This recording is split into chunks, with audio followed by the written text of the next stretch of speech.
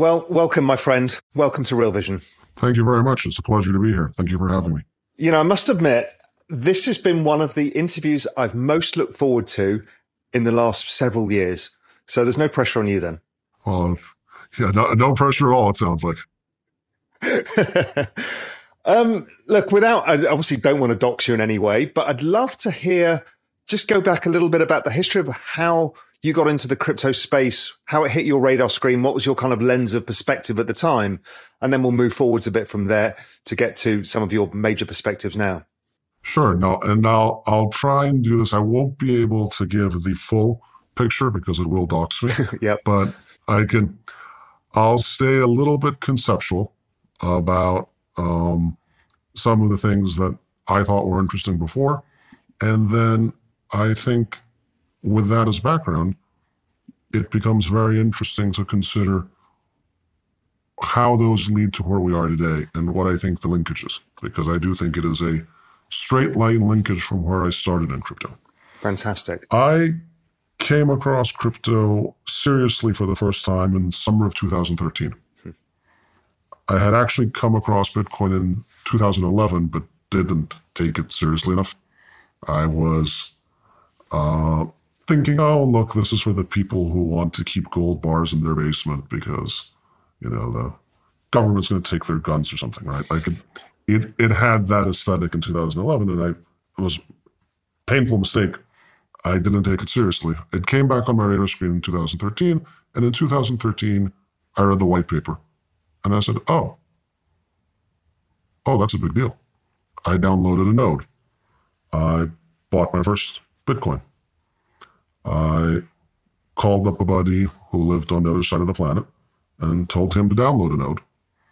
And I sent him $20 worth of Bitcoin. And that's fine. That was probably 0.2 Bitcoin back then. Mm-hmm. And it was interesting because he was, I was in New York then. He was in Europe. It was Saturday afternoon. And if you wanted to send a wire transfer to Europe on Saturday afternoon, of course, you can't, right? You're waiting till Monday, depending on where it's going. If it's running through a correspondent bank, it will be there on Wednesday, most likely. And, you know, the wire transfer fees themselves are going to be $30. And so we're sitting there, we're playing around with it. and said, all right, I'm sending you 20 bucks. And it's just there. And I said, oh, that's really interesting. That it's kind of surprising how that worked. And then I started getting really into it and I don't know how much, you know, the audience or you remember from that era, but there was fall 2013 was kind of the first blossoming of uh, crypto Twitter. Like the, it's when it started going, I mean, mainstream's not the right word, but it's when a lot of the, I think the big thinkers on crypto Twitter coalesced in that period, right? And so it was a very intellectually fertile period when we went from being like, well, what is this and what does it do and what does it all mean? Right. And for me, the conclusion then was not that this is a great way to send remittances. I mean, it is, sure.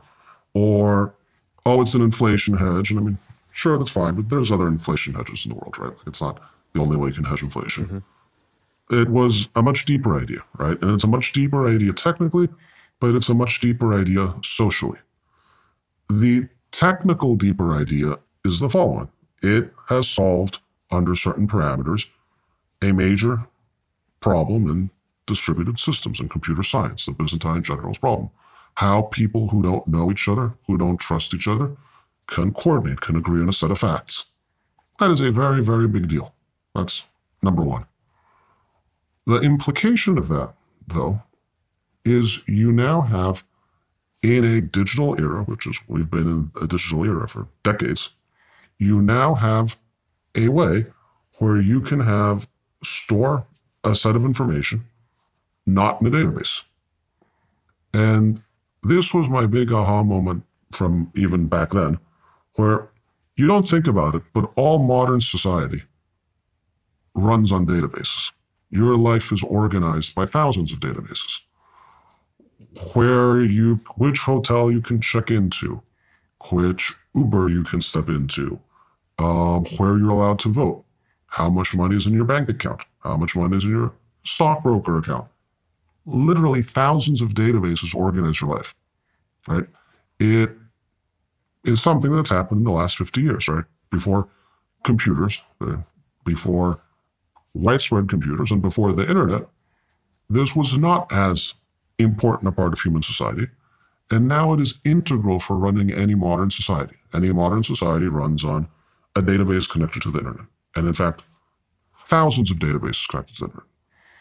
We take it for granted as completely obvious because that's really the only way to do it. And what that means is that there are thousands of TTPs around you, trusted third parties, people who you're in effect uh, trusting as a counterparty for some set of information. That set of information is how much money is in your bank account, or do you own this piece of property, or are you a citizen of this republic?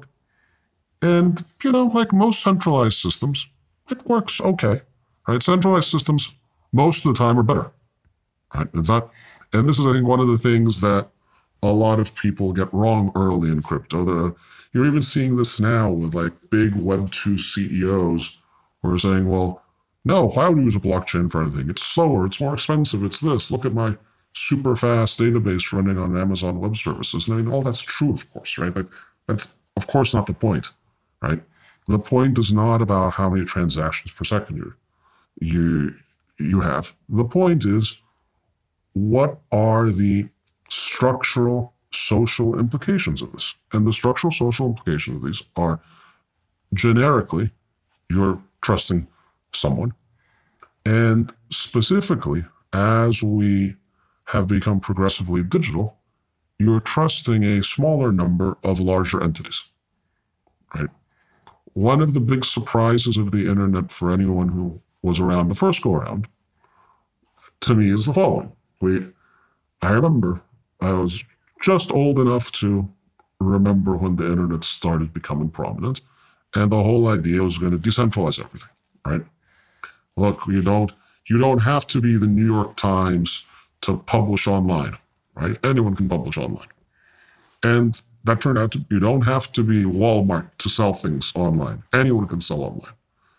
And while that's true, and initially you had a lot of small businesses, because there are no distribution barriers online, you ended up with bigger oligopolies than you had offline, right? And so the internet tends to be somehow at the application level centralizing, mm-hmm. right? Big data, machine learning tends to be centralizing. Um, there's economies of scale, there's economies of scope, there's economies of data. All of this leads to centralization. And then blockchains appear, Bitcoin appears, really, not blockchains, Bitcoin, you say, huh. So that's like, I mean, among other things, a bank account without a bank, right? And it's just, it's a bank being run by a bunch of people who don't know each other and don't need to know each other and don't need to, except for certain assumptions, don't need to trust each other, right? And my conclusion very early on was, oh, this is a 30, 40 year big deal. You can re architect whole chunks of how society works with us. We suddenly have a second tool in the digital era. Before we had one tool, a great tool, an amazing tool. The database is a great tool, right? This is not like everything should be on a blockchain. In fact, I remember there was once a graphic that was an infographic that says uh, decision tree, and it's it has it's the question: Does this should this be in a blockchain? If you have to ask, the answer is no, right? Like, yeah. you know, blockchain's not an all-purpose replacement for all databases. Databases make a lot of sense in many cases, but they might be a replacement for the important things, right? So this and I have both a traditional finance background, I have a software development background, I have a big corporate background, let's say, but I've also been since 2013 quite active in the crypto world and quite active in uh, education, outreach, advocacy, reaching out to people, like this type of thing. Like I believe the types of things you see on my Twitter account now are the things that I've been harassing everyone about for eight years, right? It's not, it's just now under a different handle, right? So, one of the things that was frustrating me though through this period, so Bitcoin and then Ethereum and then the whole ecosystem succeeded financially, I think, beyond anyone's wildest dreams in 2013, mm-hmm. right? The types of numbers people thought we'd see 20 years from now. In 2013, we saw five and seven and eight. And so the number went up. Everyone was happy. This is great. And I kept getting stuck on the following. I'd have this discussion over and over and over again with my friends in the crypto world. Like, okay, so what other applications have we built? Why? Um, I have at times run organizations of different sizes, including fairly sizable ones. And I wake up in the morning and say, well, I believe in this more than anything else. And how can I use crypto at work the answer was like, I mean, how can I use Bitcoin at work? Yeah, I can't really. I mean, the payment system, okay, but like, is it the right answer for this application? No, the database is the right answer for the application. Right? And so you say, well, I feel there's a there there.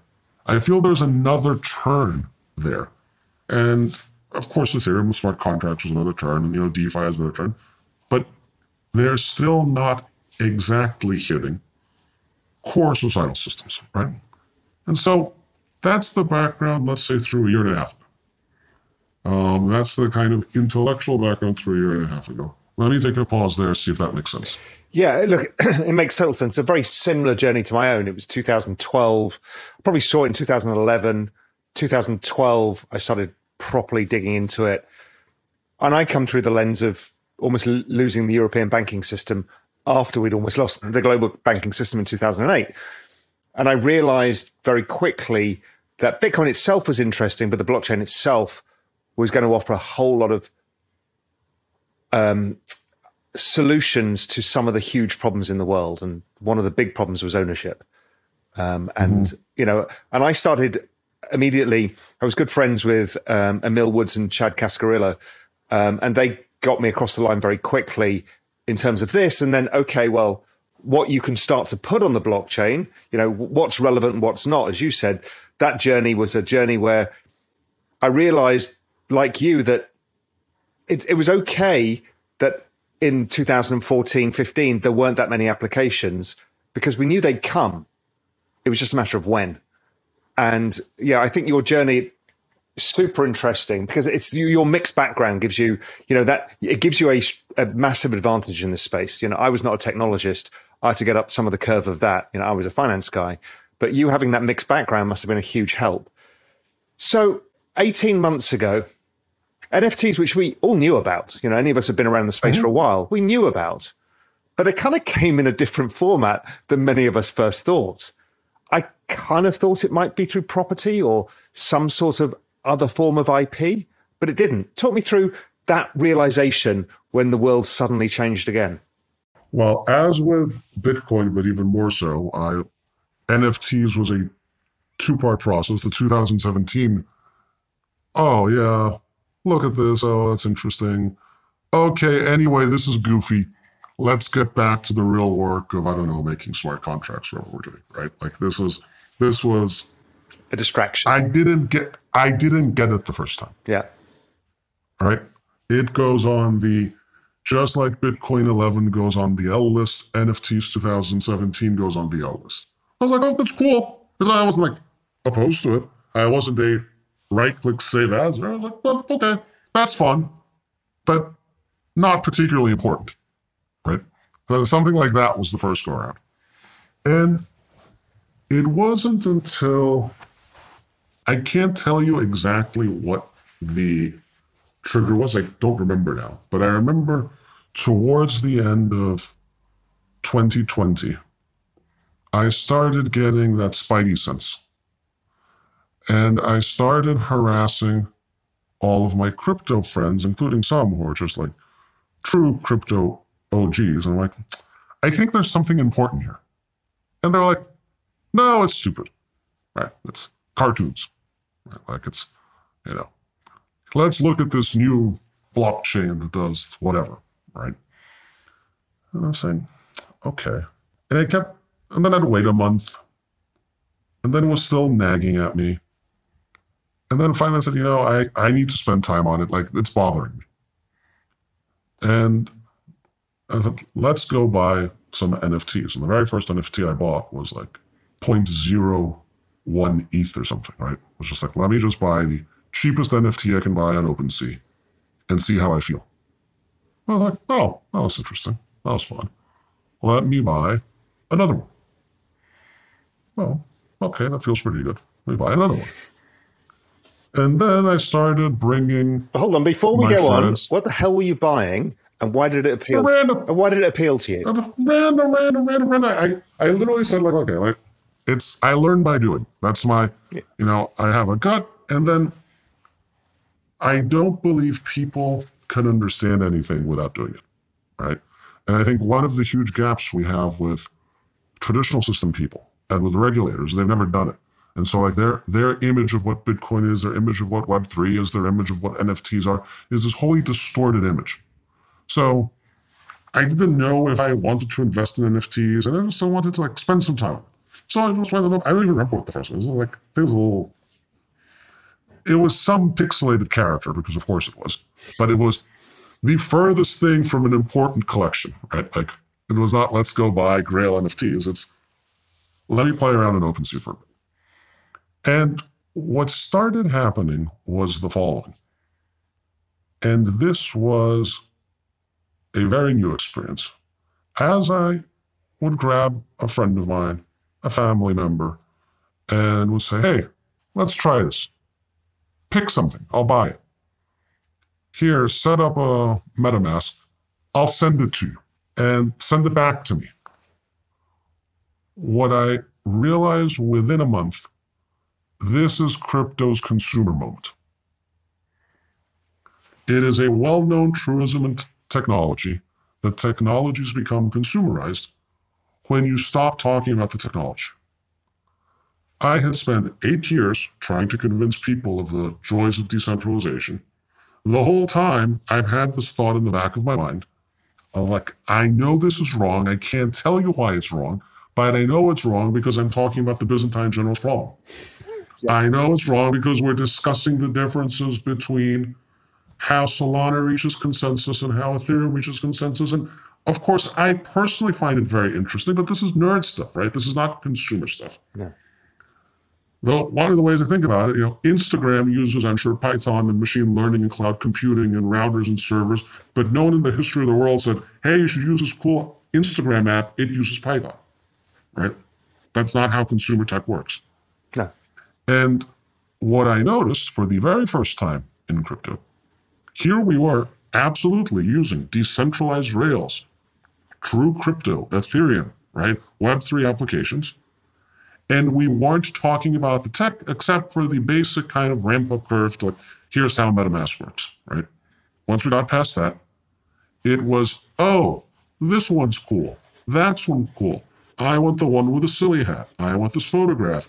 Oh, We are hu- we are humans after all. Correct. But that's tech in and of itself isn't interesting, right? Tech is interesting to meet human needs, right? And so I was like, oh, wow, this, this is it. This is um, the positive way to say it. The classic way to say it is this is how crypto consumerizes. The kind of inside baseball way to think about it this could be a Trojan horse for decentralized rails, right?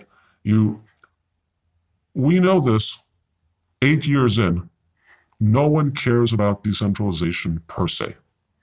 And I say this, and it's a harsh statement, It's but it's true. true. It's true.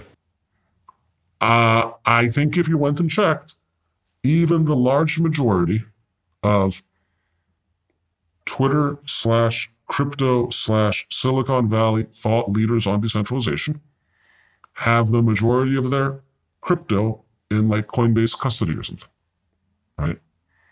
Which means like everyone's LARPing. Right? They, everyone.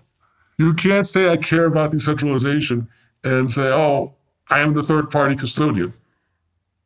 The threat model is exactly the same as being at JP Morgan. There's no difference. No. That is Bitcoin as a financial investment, not Bitcoin as a different way to organize things. Yeah. Right. And Bitcoin as a financial investment has been extremely fruitful to early Bitcoin people. Right. But with the exception of, and I, you know, it's funny because the Bitcoin maxi narrative has been in some ways hijacked relative to what it is in my mind, right? Like the the maxi narrative is that like, you know, I don't know, the today maxi narrative is that all other coins are scams and we have to all eat steaks or something, right? Like that Oh yeah. that's not the Bitcoin maxi narrative. The Bitcoin maxi narrative is you need to run your own node. Yeah. You need to be self-sovereign. You need to like do the education to learn how to be responsible for yourself, right? And those OG Bitcoiners, I have infinity respect for because they're the only ones who are actually doing it, Yeah. right? Like the there's a lot of people who say, "Oh, this is what Bitcoin's a good investment," but none of them are actually doing this. And it's interesting. I'll I'll flag this because it'll be interesting as we get through the rest of this. Up until late last year, and I think this is shocking to some people who, including some Bitcoiners who come across my feed and then, you know, like, I can't believe he's buying monkey photos or something. What is this guy? Right. Like, I was close to, from a portfolio allocation perspective, a year and a half ago, close to a Bitcoin maxi. Like, it has been the, through eight years of altcoins, ICOs, other things, about the only thing that has gotten me to sell Bitcoin is NFTs. Which is interesting. I flagged that. I flagged that of interest. So consumerization. Now, consumerization has another aspect. The first aspect is that people like it and it's not about technology. The second aspect that's very, very different is that every organization on the planet has an incentive to mint an NFT. So I was in and around NFT NYC. I didn't go to the conference for obvious reasons, but I was around. And I went to the Dolce Gabbana party. And the interesting thing, that was the most interesting thing about the conference, because specifically there was a Dolce Gabbana party. I've been to many crypto conferences. Dolce Gabbana does not show up to like Ethereum conferences, No. right? I also assume, I'm not sure, but I assume Dolce Gabbana does not throw parties at Cisco Network Administrator conferences either. I somewhat doubt it. Right. Why would they? But NFTs can represent anything and everything. And anything and everything also includes Dolce Gabbana dresses. And Dolce Gabbana has an incredible brand equity. They have a customer base. And so they can monetize that with a 90 something percent gross margin product, as they did. And they, as they should have. And Nike bought RTFKT, Adidas did their drop. We're going to have every single fashion lifestyle company issue NFTs in the coming months and years. It will then roll over to the consumer packaged goods companies. You'll have a QR code on your six pack of Coke. You'll scratch it, you'll get an NFT. Why? Because then they can directly airdrop you a coupon for the two to one sale. They know you bought it in Atlanta. They know who bought that Coke can. They know if you've used the coupon. They're not going to put in the classified newspaper, the inset, like we'll move to the 21st century, right? Universities will do it for their alumni base. Sports teams will do it for their fans. Eventually, in the fullness of time, you'll be in the you know, local barbecue pit masters club and you'll get the like barbecue master of the month NFT in your wallet, right? So everyone's coming. Over the course of the decade, everyone is going to have many, many NFTs. And I think it's important to note here the average NFT in your wallet is not going to be a Grail Fidenza or whatever. It's going to be something closer to your Chipotle coupon card. But it doesn't matter. Like these two things mean there will be widespread adoption unless something goes wrong, which we'll talk about in the later section. So, thesis one, it's a consumer application. And it's also a way of organizing complex adaptive societies. Um, that's what really got me interested in. I've been very interested in social tokens and NFTs for community as the new business model. And it creates a wholly different dynamic when you have combined network effects between your consumers or your network of, of users and yourself or your business. Well, here is this isn't in my mega thesis, but here's here's a framework to thinking about this. I think of NFTs in the in the variation you spoke about as two things. First of all, it's a community interest group where the database is publicly readable and writable. Mm-hmm. Right? Like, like what do I mean by that? We don't know or need to know who all the punks holders are, right? But there's some probably some psychodemographics that apply to them. And those are different psychodemographics than apply to Bored Ape holders, which is different than Azuki holders, right? And that's no different than the world at large, right? Like if you're in the database of the Catholic Church, you're statistically, not an individual basis, but an aggregate, different than someone that's in the database of the Lutheran Church. And an individual might be not that, but in aggregate you are. The difference is the punks database is publicly composable. You can not be a punk holder, you cannot be well, Yuga Labs now, and you can still write an application that airdrops something to a punk or composes a punk or allows you to interact with that community. So, first kind of version of this is it's turning community groups and membership groups inside out. They're sitting there in public as opposed to being hidden. And anytime something goes in public and is composable, it becomes a much bigger deal.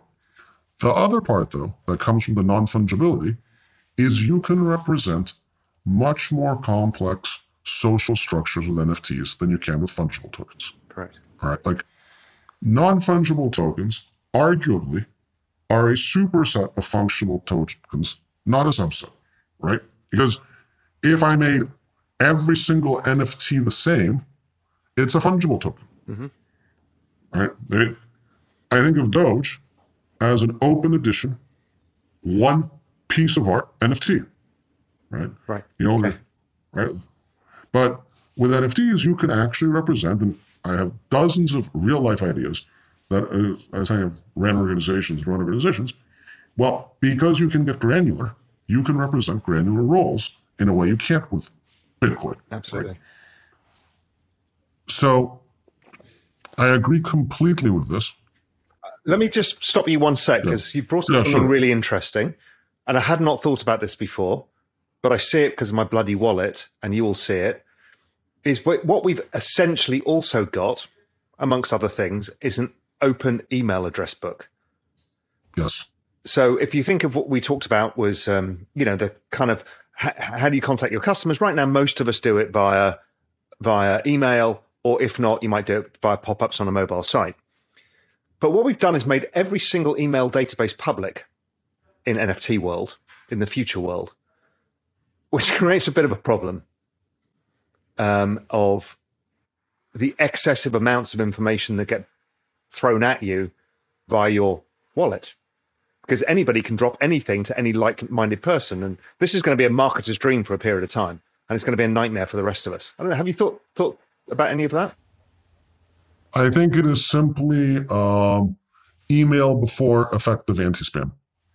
I think it is going to be first a marketer's dream, then uh, I'm at the leading edge of this because the amount of scammy airdrops that get pushed to my wallet so that people think that I'm minting, you know, the slithering snake collection is extraordinary. right? Like the activity feed, it's every every couple of minutes all day long.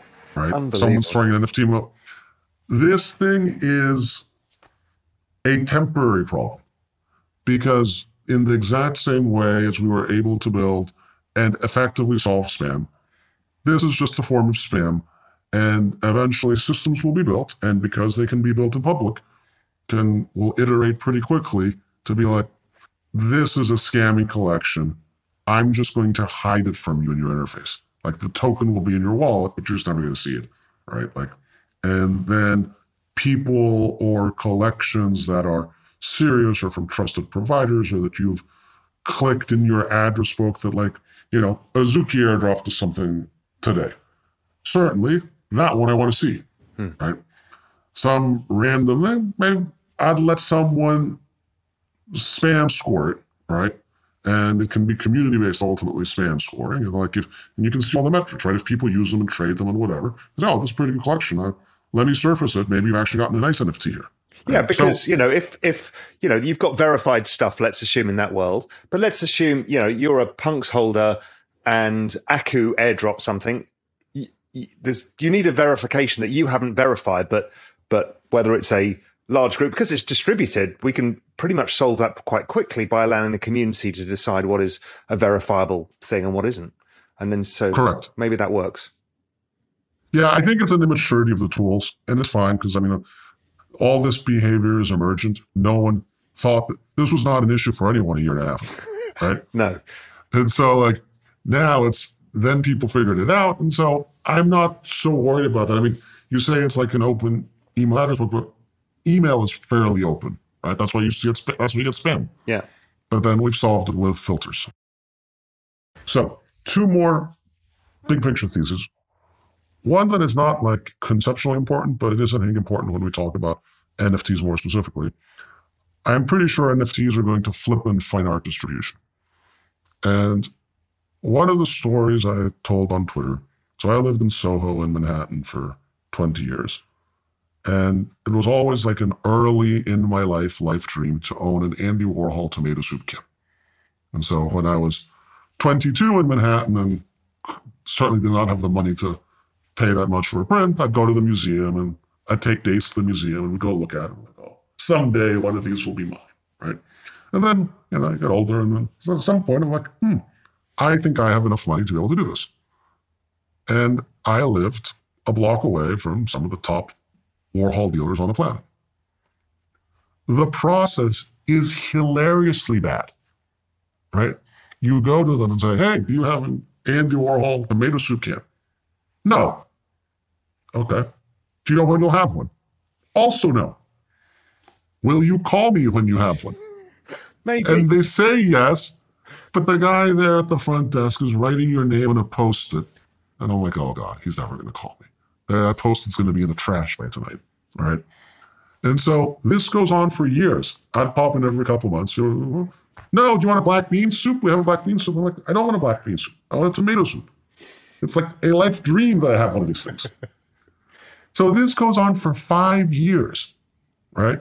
And I think during that period, there might have been one or two that I just missed. Of course, forgot to call me, or they called some guy they wanted sold tomorrow. I don't know.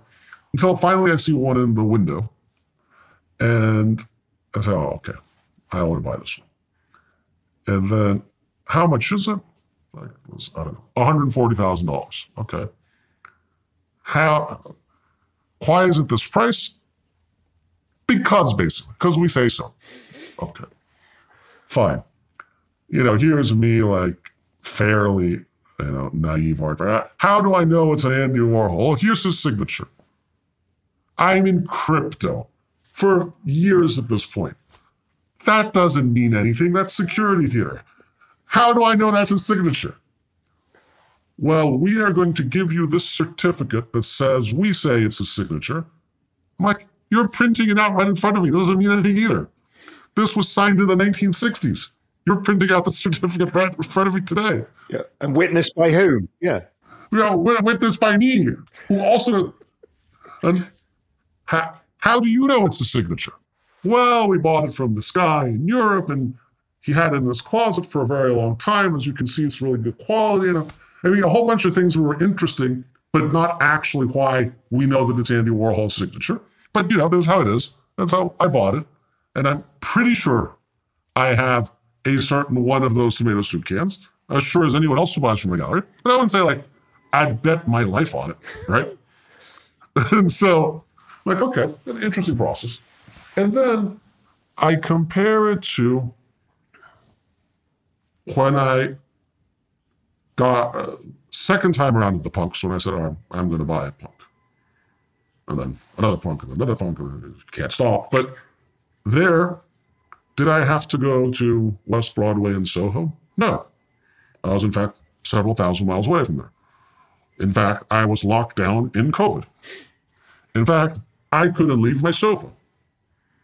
But all that I need, an internet connection and MetaMask. And how do I know it was the right price? Well, I had the global order book since inception in front of me, right? Every sale, every bid, every ask, every transfer. I can bid anyone I want, even if it's not for sale. I can see who has them. You have full transparency. And you're like, oh, I see. This is art distribution's internet moment. It's going from being a pre-internet business to a post-internet business. And some here someone in the will say, no, no, but we have websites where we sell art. That's different. Right? This is now natively internet. Right? The whole thing is it's not you have an order management system and then a different unit ships this out to you. Right? I've done that too. I've shipped art across continents. It takes months. It's painful. It costs a surprising amount of money. Right? And you know, eBay did not turn out to be some type of subset of Pennsylvania antique shops. It turned out to be a gigantic superset of Pennsylvania antique shops. It was like the global marketplace for non-standard goods or something, right? And that's what's going to happen here. It's not that I am not saying fine art galleries are going to go away. I mean, there's antique shops in Pennsylvania today. There's radio stations today, right? But the market opportunity for selling art and then a bunch of other things, which we'll talk about in a second, online is vastly larger than selling it through a subscale retail shop that on average on a Tuesday afternoon at 11 o'clock has zero people in it. Zero. None. That is actually typically what it looks like. Right. And so, you know, it's it's better for artists. You know, Damien Hirst did this drop last year. Damien Hirst, of course, a very famous artist. Damien Hirst can sell his art whenever he wants. But he sold 10,000 pieces in like five minutes. And even if he had like five galleries working for him at the same time, they couldn't sell at that volume, at that pace in the real world, even if you're Damien Hirst. I, I, I own one of those as well. Yeah, so do I. And it's like, if if it was, if you had to go to, I don't know, London or Geneva or Miami or New York to buy one, would you have gotten out of bed to buy one? I don't think I would have. No, and look, I've tried to buy Damien Hirst in the past because that was a cultural reference for me. It was a fucking nightmare. Right. and, well, that's what I'm telling you. You know, it's just as simple as that. It's just a nightmare. You don't know the price. The gallery's ripping you off. Everybody's ripping you off. You don't really know what you're getting. And, you know, I just didn't bother in the end. I bought signed rock and roll music photographs, Mick Rock stuff, because it was easier to get validated because I could buy it from Mick Rock himself. But other than that, I, I gave up. Excellent. Yeah, I agree. This is this is how it is. But the other end of the spectrum is societally more interesting because Damien Hirst is going to be fine in both cases, right? But imagine you're like the top butterfly photographer of Knoxville, Tennessee. Realistically, in a uh, physical retail system, you can't make a living. It has to be your hobby, right? You have to have some type of other job. How many people in Knoxville are going to buy photographs of butterflies in repeating quantities, not enough. You're going to do your own website to try and sell them, try and get into one of our uh, big art. Difficult. Here, though, and I'm not saying it's easy, but you can, Chris Dixon style, find your 50 or 100 true fans that there are probably 100 people in the world who would buy one or two butterfly NFTs a year from your style. And you can turn your hobby into your actual profession. This is going to be an absolute boom for everyone who works in the creative professions. Right? This is going to be, you know, the idea of, oh, the creative professions are not well paid is, I think, largely just because we don't have good technology to transport intangibles. Yeah, they don't scale. Right? They just don't scale generally unless you have unless you're Damien Hirst and you have a marketing engine. But the, and I was going to come on to this later, but I think it's a at point is how the discoverability is still a problem, right? I go into OpenSea, overwhelmed. And then I go to Nifty Gateway, it's even worse. And then I go into Rarible. You know, it just becomes overwhelming. Huge so problem. We're missing that layer, I, I guess, the Amazon. Yeah. I hate to use that something like that, but you know, the Amazon experience where it'll find you and you find it. we will see vastly different cuts at this. Some of that will be that. Some of that will be much better. Some of them will be skeuomorphic, real life style visualizations. I throw that again in the bucket of time, money, uh, economic incentives, and the fact that it's extremely valuable to do discoverability well is yes. going to solve this problem. Yeah, I agree. Right? Like, I agree.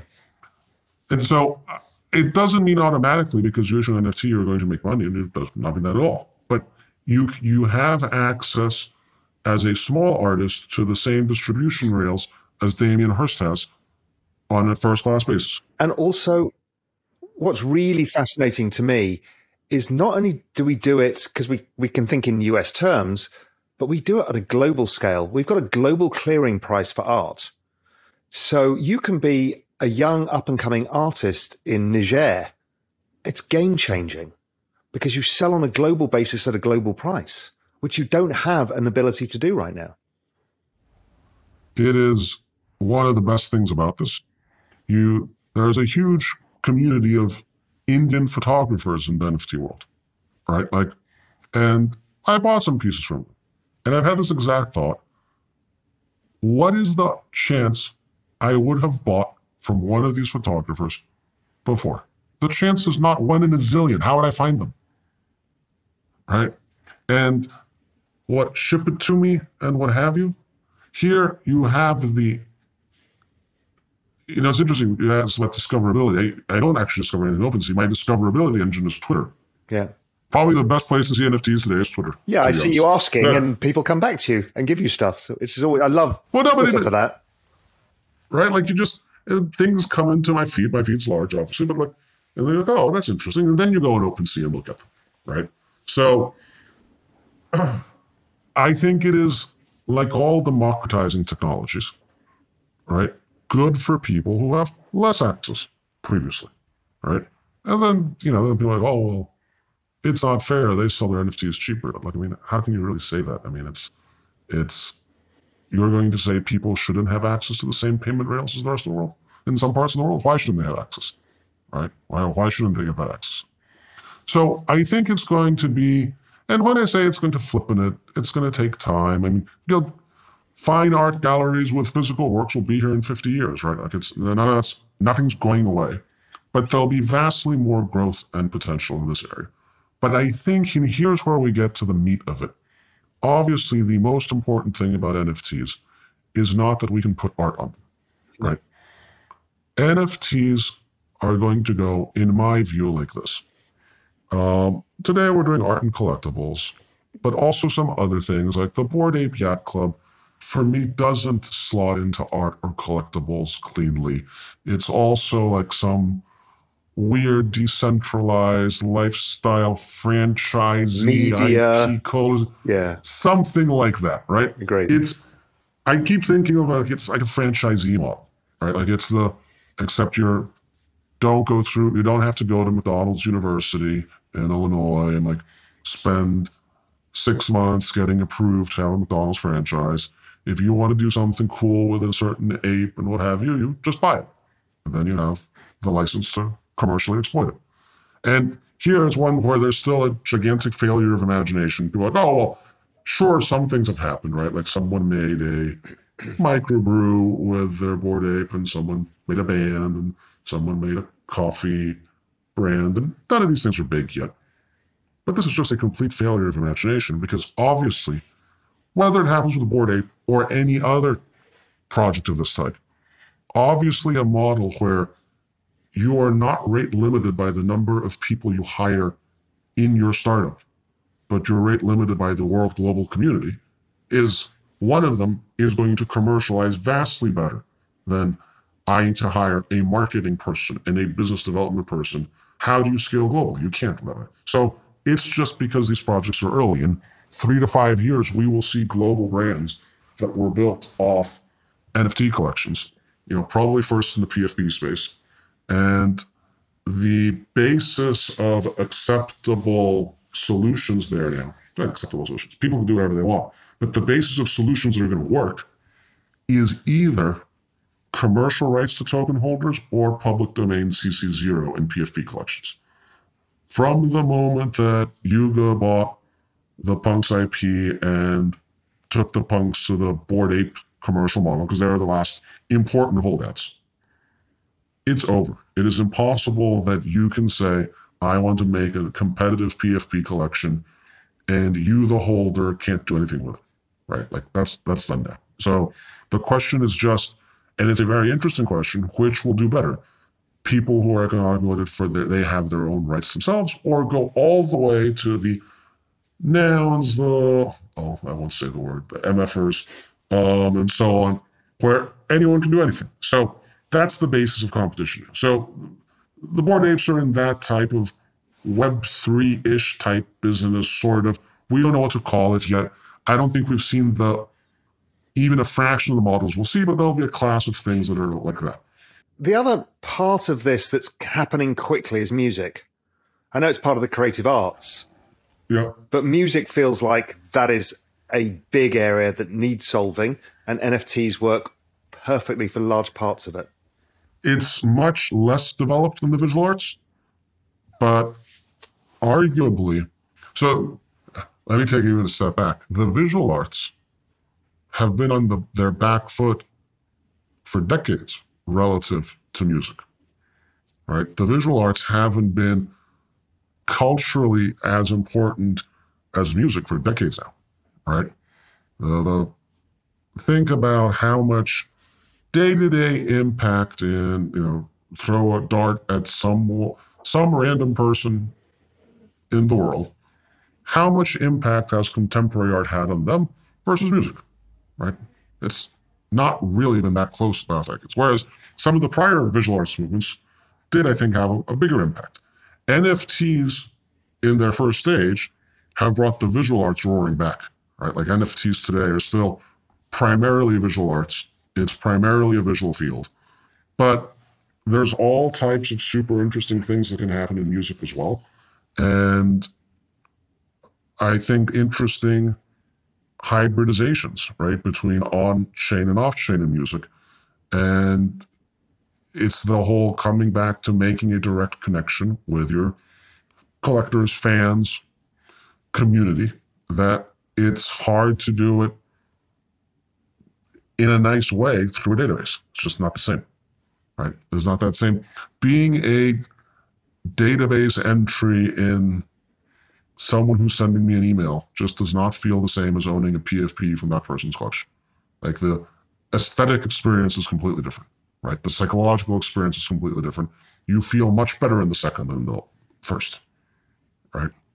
So, but where do we go from here? We're going to go to gaming we're probably two to three years away from like the next generation of games. I mean, there's a lot of stuff.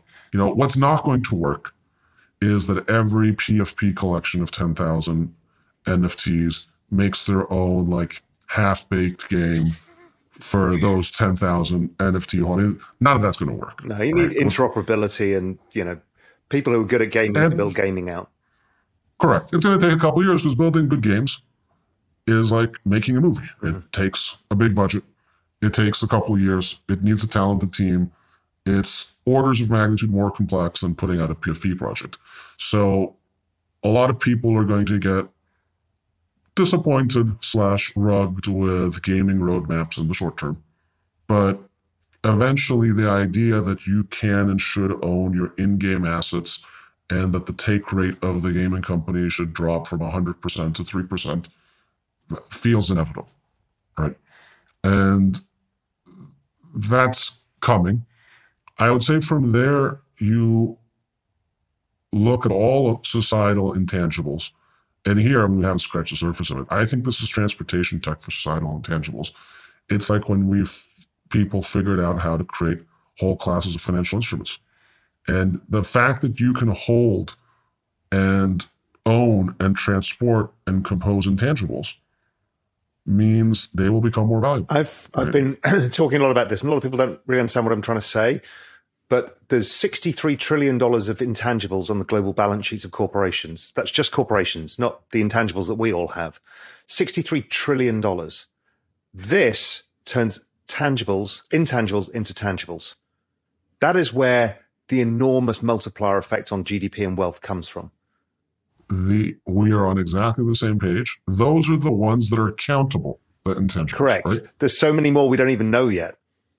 Well, I mean, the United States of America, the Statue of Liberty, the U.S. flag, the land of the free and the home of the brave, the American dream. These are all intangibles.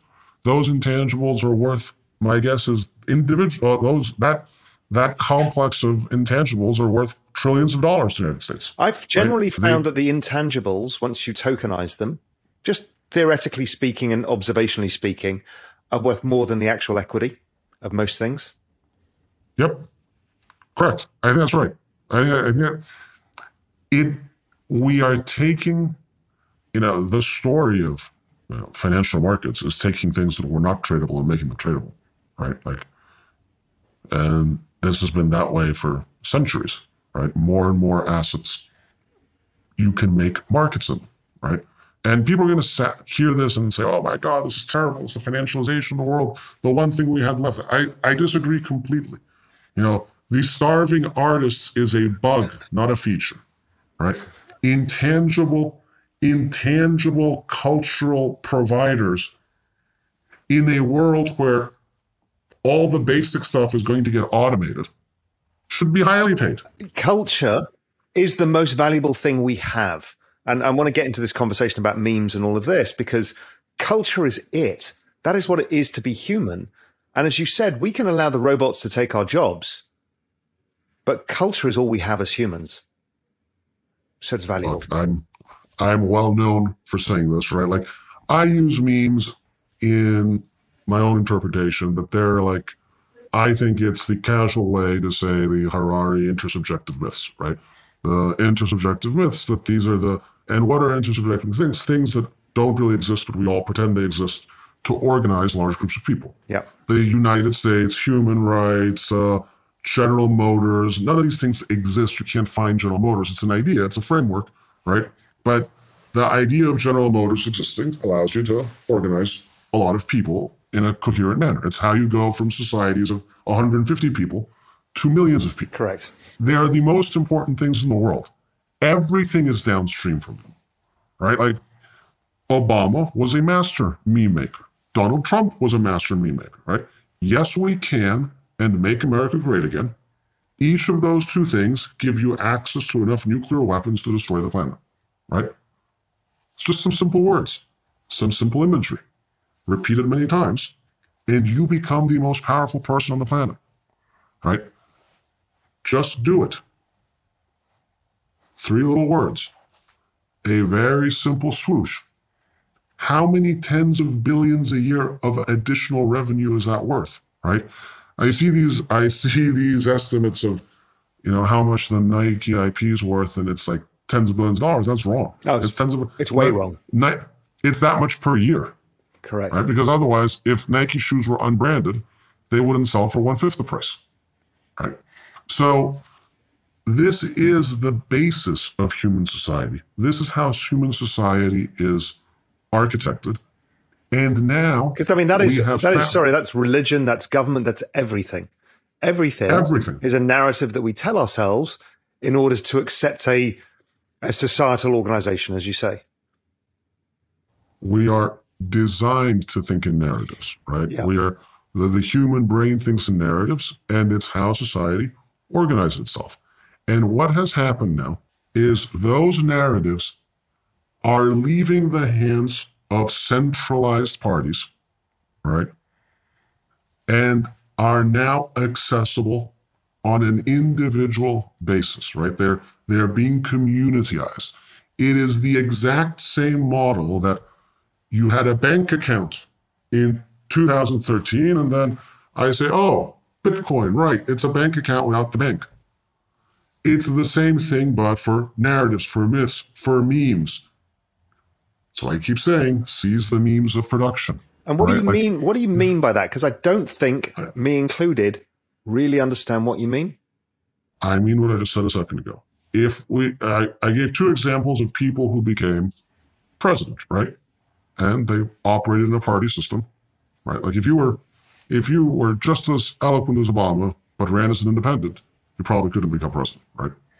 If you had a nice logo, but you weren't Nike, probably can't make a competitive, can't make a competitive company to them, right? Here, you can actually directly own the intangibles on a first class basis with anyone else, right? If we agree that, and agree is just a social construction, right? If, if we start moving around intangibles on tokens in a permissionless system that everyone can access, that everyone can use the same rails, that Nike doesn't have a distribution advantage. They might have a marketing advantage. That's different, right? The marketing advantage and the distribution advantage are different. Damien Hirst might have a marketing advantage to the butterfly photographer in Knoxville, but Damien Hirst does not have a distribution advantage.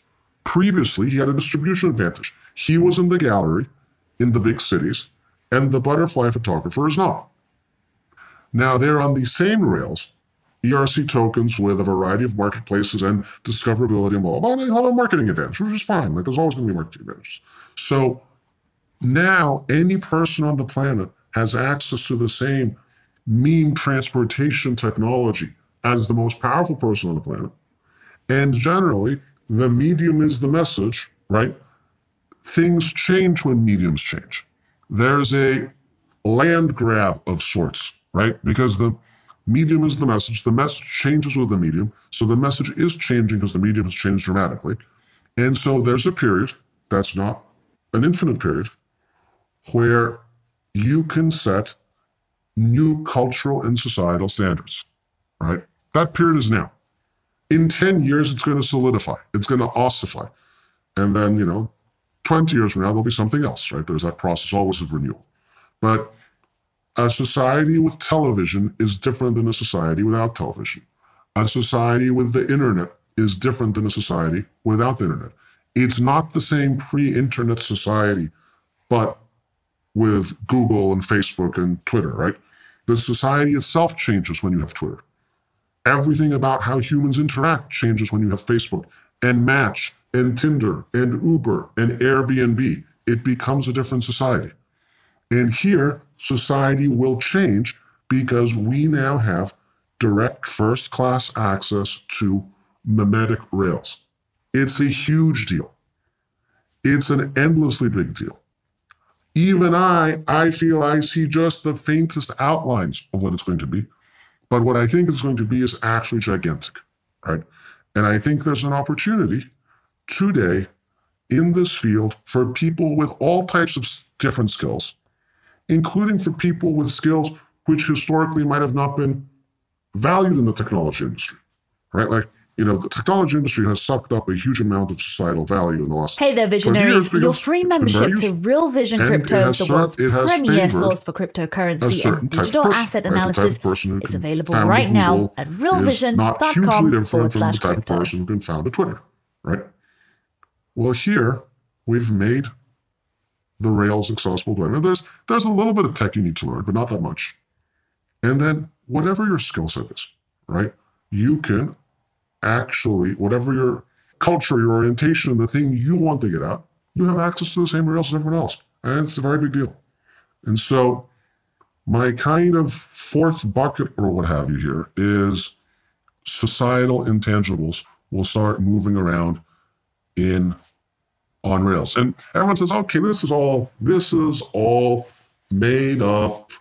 Um, you guys are just playing a game with yourselves. It's just a social construction. Mm, of course, it's just a social construction, but so is the title deed to your house, right? It's a social construction that if a piece of paper is in a certain office and it has your name on it, you then have the right to put a fence on this piece of land and shoot someone who comes on it, right? That that paper is that paper, the land is just as off chain to that paper as anything else we're doing in NFTs, right? And so the reason that paper means something is a whole agreed system that that paper means something. And what has emerged emergently is that if you own this token from this smart contract, in fact, token 6529, we're all going to agree that you own Punk 6529. It's no different than if we say, hey, you have this title deed for this house. We're all going to agree and then use the whole enforcement mechanism of society to protect your house. It's equally made up, right? Like you don't think of it. The houses feel very, very tangible. But the fact that the state will enforce your right to live in your house because your name's on the piece of paper is just as much a social convention that this that I can say I'm 6529 because this token's in my Ethereum wall, right? And so now we we've found a social convention for moving on intangibles. Big deal, deeply unexplored yet. Okay. We've barely scratched the surface. And then I'm going to take one more step because this is where it's the part that's most important to me. And that's quote unquote metaverse. Right. So that was my next question, the battleground for the open metaverse. Okay. This this to me also deeply misunderstood. First of all, everyone uh, everyone, a lot of people have the wrong idea of what the metaverse is. The metaverse is not going to be like some goofy Second Life number two where you're walking around with VR glasses and like Minecraft or something. That's fun. It might be great, but that's not the metaverse. The metaverse is just the internet. It's just the internet with two differences. First of all, the visualization layer is going to get better, as it has been for decades. I can see you now, and 10 years ago, this would have been a conference call, right? I wouldn't have been able to see you but you're still like kind of like two square inches on my screen, and I'm pretty sure you're a full size man, right? And so in 10 years, you're going to have a pair of sunglasses on. I'm going to have a pair of sunglasses on. There'll be heads up displays. We'll be in augmented reality on a permanent basis. We'll press a button. You'll show up in front of me. I'll show up in front of you. We'll talk about bored apes. They'll float in front of us. We'll talk about skeuomorphic discoverability and some type of virtual art gallery will show up in front of us, right? It's going to be this blended digital hybrid space that we're in permanently.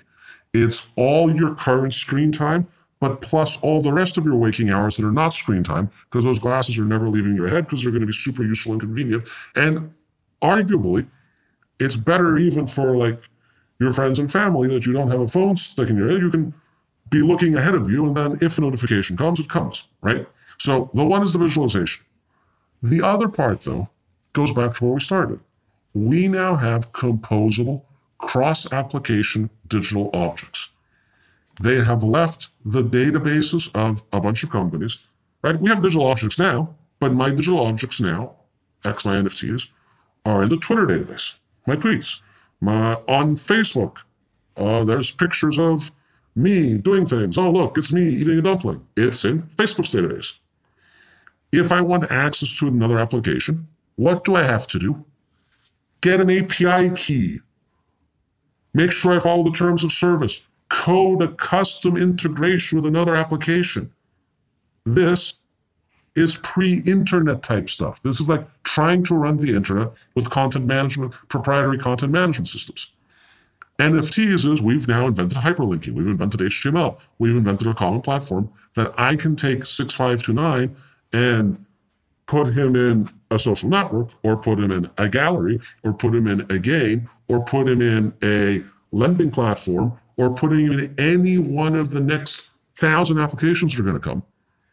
And so this is where all the innovation will happen, right? Like all the innovation is going to happen because you don't you have permissionless innovation, just like you programmable permissionless money with Bitcoin, right? You now have permissionless innovation on cultural digital objects. So you put those two things together, the metaverse is going to be epically compelling, right? Because now this is the part where people say, like, oh no, I'm not going to wear those glasses, right? Just like you're not going to get a smartphone, right? Just like you're not going to like use Google and Twitter and Facebook and email and and Television oh, I'm not going to use yeah, come on, right? Like all this stuff is hugely convenient. It makes you more productive. It fires your dopamine receptors. You're always going to do it, right? So, since we're inevitably going to live in this space, it then the most important societal discussion that we are not having is since this world is coming, how should it be architected? Right? And right now, there are only two choices, the ones we said at the beginning of the conversation. It can be those digital objects and your position in those digital objects can be in a database which realistically means a company's database, because I don't think the government is going to build the metaverse platforms, right? Or it can be on a blockchain. There's no third thing we've invented. These are your two choices. And so if you think NFTs are not the way, then I ask you, tell, tell me which company should own this. And my view is no company should own this because it is problematic. And it's problematic in the classic Web 1, Web 2 but, scenarios. Like, but surely one company won't own it, right? Just a multitude of experiences of which we can move our digital identity and digital belongings across them. So therefore, you can, you can move them across if they're NFTs. Yeah, you cannot course. move them across if well, but that's the whole. Battle. It doesn't work without NFTs. It's it's impossible. Well, but that's the whole battle because the whole battle, and I, it is a battle. We have not won this battle, right? Facebook does not want this to run in NFTs. They want it to run in meta servers, right? Unreal, the CEO gave a speech the other day in Asia somewhere. So It's a multi-trillion dollar opportunity for my company. He means in his company's database, right? And we have gone astray on internet architecture. Yeah, I'm not, you know, I'm, not, I'm not sure that these people don't understand the magnitude of what is happening. You know, having spoken to quite a few kind of very senior people at, let's say, Meta, they mm-hmm. get the interoperability. They get it. They're like, we can't stand in the way of this because nobody's going to trust us. I mean, okay. whether it happens is that not, why, that's a different matter. Is that is that why you have to log into Facebook to use an Oculus? Well, only now. In the future, I'll just use my NFT, my digital identity. Right, but like, I know they're saying those things, right?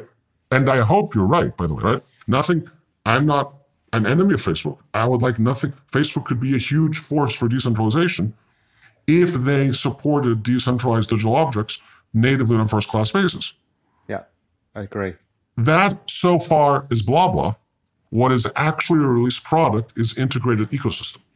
Yeah. Okay? and its integrated ecosystem from the software platform to the hardware platform. And it's a bet the company integrated ecosystem as of today. When that changes, my view will change. I look at what people ship, not what they tell us, right? And it's, you know, Web 1 had the right architecture. Came out of academia, that's why, right? Like they, they didn't think to monetize. So email is SMTP which means it's an interoperable standard, which means if you like Gmail, you can use Gmail. If you like Outlook, you can use Outlook. If you don't like any of these things, you can run your own email server. Short messaging online turns out to be Twitter. And that has all types of weird outcomes, right? One thing that like was, I think, a wake-up call is it's also a wake-up call for a lot of governments around the world. It doesn't matter if you like Jack Dorsey or don't like Jack Dorsey it doesn't matter if you like Donald Trump or don't like Donald Trump. This is completely irrelevant to what I'm about to say. It is deeply weird that for some strange reason, Jack Dorsey was one of the most important people who had to have an opinion on if there was a coup happening in the United States. Because Jack Dorsey is a talented tech executive, but he's a random CEO of a random tech company. Why on earth would that be his decision? Right? It's like saying we need to decide on I don't know, our policy for national defense, and we're going to ask the CEO of Procter and Gamble, right? Like, we have courts, we have elected representatives, right? We have police, we have all of these systems of democratic governance. And in no model of democratic governance would you assume that the person who can wipe you off the internet should be the CEO of one or two random tech companies, right? And they were well within their rights. The First Amendment does not apply to private companies, right? The problem isn't that Twitter doesn't want Donald Trump in their servers. It's a perfectly fine decision. They might not want him. That's a business decision.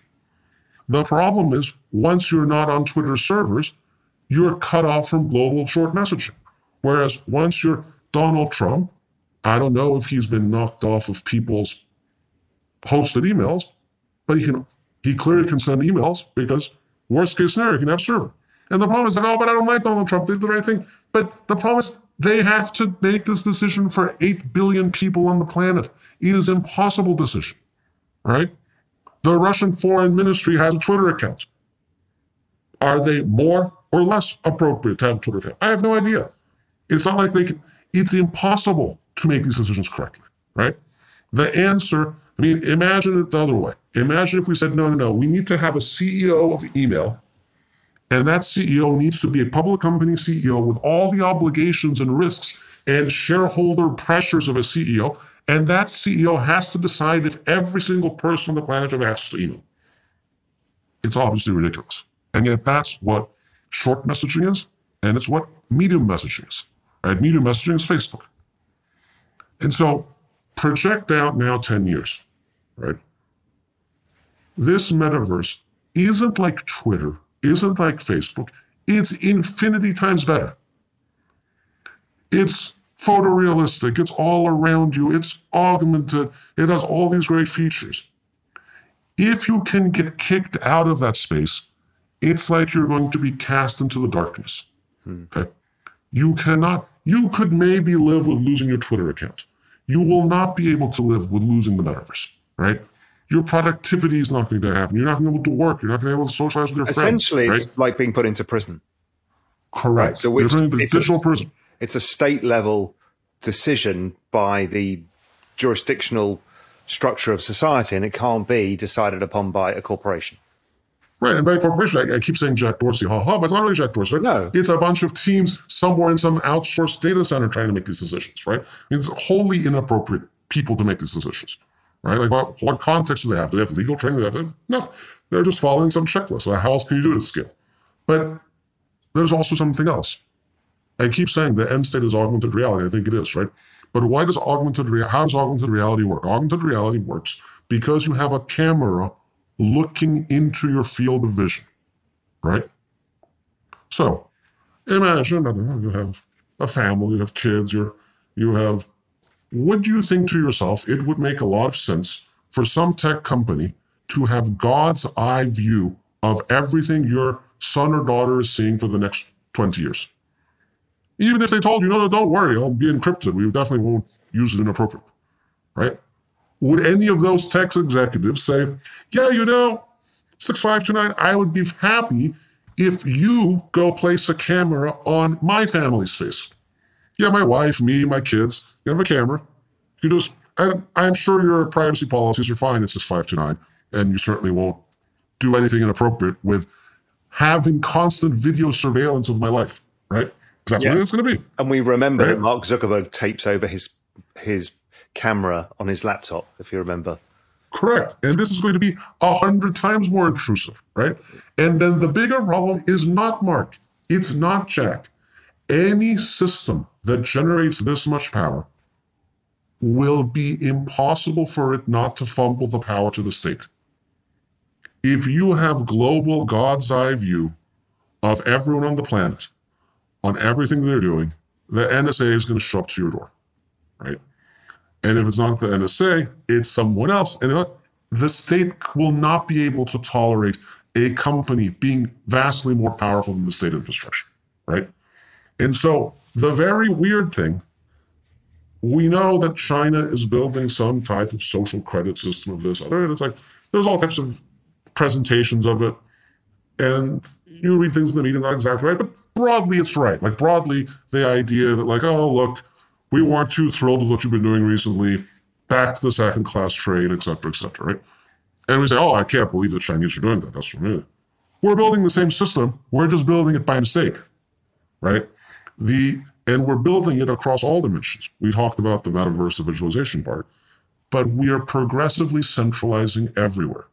Take a simple example: a taxi ride in New York. 25 years ago, if you wanted to block me from taking a taxi ride in New York, effectively you have to arrest me. Okay? How are you going to block me? You hail a taxi, you take some cash out of your pocket, take me to 52nd Street, right? Okay. You'd have to arrest me to stop it. How, how would you stop it? Today, we're not all the way there, but mostly there. If you just flip a switch on Uber and Lyft because uh, you don't like me, I can't hail a taxi, right? Now, there's still some yellow cabs, but I noticed the other day that like Uber is now going to be also integrating yellow cabs. I mean, the yellow cabs have their own app. Another three to four years, all taxi rides are going to be electronically intermediated by like three or four companies. And then, inevitably, someone's going to be socially undesirable and blah, blah, blah, blah. And, you know, you violate the terms of service. And, yeah, we don't want that type of person in Uber because, you know, we have liability. What if, what if he punches a taxi driver? What if he punches a Uber driver? We don't like him, right? And then you'll be able, with a flip of a switch, to ban someone from taxes in New York, which sure sounds like the types of things that we say, oh, that's very bad happening in China, right? The other dimension of this, CBDCs. CBDCs are very interesting should there be national sovereign currencies, true stable coins um, available online? Yeah, I think that's interesting. But what's less interesting, the less interesting part is this. If you look at what the BIS says, what the ECB says, it's a little bit more mixed in the US and the Fed. It's a little bit more mixed. There's voices in both directions. But they say, oh, it's great. You can, we'll be able to, I don't know, effectively end crime because um, we can censor any undesirable transaction. They'll use it as a behavioral yeah. economic system. I've been saying this for ages. And that's obviously good. that's both good and terrible. and, and it's even worse than that. That that that maybe that's good or bad. What will actually happen is some aspiring totalitarian will get a hold of their central bank's node, and his or her political opponents, election time, won't be able to buy a tomato. Okay? Because if you think about the top totalitarians of all time, they still couldn't prevent someone many time zones away from their capital from transacting, right? Hard. It's hard to prevent people from transacting in cash, right? You have, it's a very intensive process to get every transaction under control. Once you move everyone to a, CB, a centralized permission CBDC, then you just run machine learning algorithms, you run big data algorithms, and you have what I worry about. And it's interesting because I've been worried about this for years, and all my in real life friends randomly are subjected to these rants at like dinners and stuff. And they start with like, it's weird. We're like setting up, I think it's mostly accidental. It's partially, you know, it's partially the US surveillance infrastructure, financial surveillance infrastructure, but also partially accidental. We're bit by bit, setting up the following a global censorable digital money system, a oligopolistic uh, services infrastructure, you know, cars, Airbnbs, et cetera, et cetera. Now the digital space in which we're going to live all the time in 10 years, the metaverse, right? And let's say all of these end up in 10, 15 entities, right? You have set something up that if someday a truly bad person ever managed to grab power, it's the biggest honeypot in human history. Yeah, I, I totally agree. The issue I've got with all of this is we sold ourselves to the devil 15 years ago every single thing that we do, we have given to databases controlled mm-hmm. by very few people. I mean, mm-hmm. people argue this as, oh, you're taking my privacy. You haven't been able to take £10,000 or in Europe's case, in some cases, 2,000 euros out of a bank account for a 10 years now and move it around. So everything is now obviously anything the government wants to know, they can know. But mm-hmm. even bigger than that, that I have a real problem with with this is I don't know if you've read "This Is How They Tell You That the World May End" about cyber hacking, written by the New York Times. No. It's it's an no, extraordinary book and it's utterly terrifying okay. because it's not about let's let's just say that democracy works and power is not seized in Western democracies. That everything just ticks along as it has been in the usual drama that is a democracy but the fact that this stuff can get hacked is the fact that you can have an entire entire sovereign state seized by a third party and there's pretty much nothing you can do about it. It is yeah. utterly terrifying. Uh, look, look, I think the reality is, and every decision on law and order is a is a trade off between private crime and public crime, right? That's why we have constitutional democracies.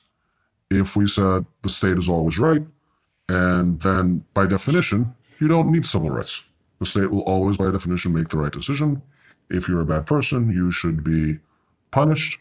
And what's the need for due process, right? Like the AML KYC infrastructure, which I'm not, as a matter of principle, opposed to AML KYC but I am opposed to the way it's been architected, right? Agreed.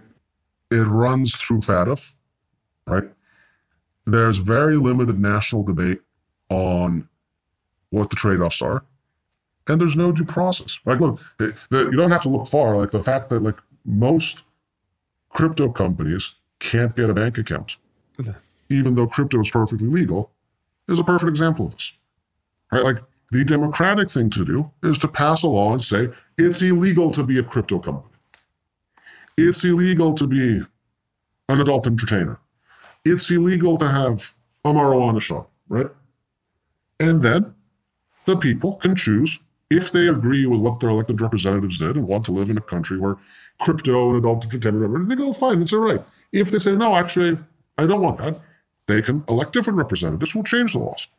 Here, we have the laws that say X and a shadow system of bureaucrats that nobody has ever discussed, nobody um, elected, nobody has any transparency in what they're doing, who have just made up their own set of rules and just doing their own thing. It's bizarre. And it's it's in very nice terms, risk management and this and that. It doesn't it can't have avoided your attention that they've seized Russian oligarchs, whatever by what definition, all of their assets in foreign countries with no due legal process. Look, slightly terrifying. Uh, to me, the the funniest one of all, I mean, not funny but funny, was the Canadian thing, right? Yeah. Because I've been, so I've been harassing people about this stuff for a long time, and mostly people think I'm nuts. And you know, I'm generally otherwise a pleasant and I think mild mannered person. And they're like, oh, oh, there he goes again. And I'd always like, look, what if some aspiring dictator does da da da da like, uh huh, uh huh. Justin Trudeau, really? Justin Trudeau? Like, Justin Trudeau hauled out the full like terrorism national emergency. We're going to freeze everyone's accounts and starve them out of the square infrastructure for these things. I am not saying these things aren't annoying. I'm sure they're annoying. I'm not even saying that I suspect I don't have very much in common with the guys that were causing all these issues, right? I suspect if I lived there, I'd find them immensely annoying. But the reality is, if you set the precedent that for something that I'm pretty sure was not the type of national emergency that Canada was going to fall, right? I don't think they were going to. Canada has a pretty serious army, right? Canada was not about to fall. If that means you can, without due process, freeze the money of anyone who's even sent them money for a sandwich, that is the model of which the next attack is going to happen, right? That's a small trial run from the most implausible place of all, right? I don't think, and I don't even think like Justin is planning something crazy. I think he got caught in a tough spot, and it was politically expedient to solve it this way instead of like you know sending police and having fights in the street and people getting hurt and then being. But the reason he could do it is because the infrastructure is mostly centralized. Hmm. Right today, it's mostly centralized, and we're heading for it to be 100% centralized. And once it's there, the temptation to use it is high. Right? When even Justin Trudeau uses this, well, I mean, come on. He's no future totalitarian dictator, right? He's like fairly normal politician. But he was in a tight spot. The infrastructure was there. He used it. Someone else will use it. The lines will erode. And there is, you know, probably I think the most popular tweet storm, like you don't actually have any constitutional rights in practice if someone can just freeze your money. Right? How do you oh, I want to exercise my right to free speech. Great. I want to go to DC in March. Oh, but I don't have any money. Right? Like I can't spend money. I am socially undesirable. Oh, I want to buy a gun. Oh, right, money again. Oh, I want to exercise my religion. Oh, right, there's a priest in a church. Yeah, and, it's, it's a cheaper way. It's cheaper way than putting uh, of putting people in prison. You know, because basically you're robbed of all your rights because you can't do anything. Correct. It is a cheap way of like depriving them of all their constitutional rights indirectly. So, I get it. You know, I, I I worry some stuff. Some parts of democracy, I kind of think, okay, we, we've got to draw these battlegrounds anyway. I think democracy itself in this fourth turning moment needs to get redefined in, in some way that better represents democracy and not an oligopoly um, or a corporate corporatist world. But okay, so how we've talked about this battle for the metaverse, which is essentially all of this battle. There's two things I want to get from you: is okay, how do we solve that with blockchain with what we're doing? what is required for that to be true? And also the other thing we didn't we've kind of skirted around, I haven't talked about, is digital identity to make this all unlock. So a couple of things mm. I'd love to hear from you. Okay, let's start with the first one. And I think, you know, I can give this hyper complicated answer, but hyper complicated answers never are not viable for anything practical. I think the way we end up in an open metaverse is to get 100 million people using NFTs. Yeah. Uh, the reason for that is we have to leverage. And that's NFTs as opposed to fungible tokens. Is correct. Or, okay. Correct. NFTs, and I'll tell you why I think that how it's going to play out. We said earlier, and I think it sounds sensible that like Dolce Gabbana and Nike and everyone else, and you know Ohio State University are going to issue NFTs. It's an obvious moneymaker for them, right? So they have a very simple. They can take their Dolce Gabbana has valuable intangibles. The Ohio State Buckeyes have valuable intangibles, right? And so now they can directly monetize it. So they will. If there's 100 million people using NFTs, they will issue NFTs. And if everyone issues NFTs, then the network effects take over. And seven years from now, there's a billion people using NFTs and it's there's No, there's no right? attack vector, in other words. If instead, if instead, a year from now, there's 2 million people using NFTs, and some Web2 company, maybe Facebook, launches a NFTs like product that looks like NFTs. Oh, you own this piece of art, this generative art, this punk, but it's in a database. And they say, yeah, Ohio State, you can mint to this database. Here's our software development kit, our API, whatever, right? And that gets the lead. Well, I mean, Ohio State University is going to do what Ohio State's university imperative is, right? They have students and alums. And if their students and alums want their virtual Buckeye hat on the Facebook platform and not as an ERC 721 token, Ohio State University is going to do that. And because we are maybe one or two years away from a tidal wave of institutions pushing for these things, right? And pushing their own communities towards these things. The path dependence of if 10 years from now, are your digital objects behind some company's database or are they on open standard? That path dependence is going to get set in the next six to 18 months. The whole game is going to be done now. And do you not think that? I mean, yes, I agree. And I agree that NFTs are very important because that is culture and you know the, some of the really important things that is that is what brings in the masses.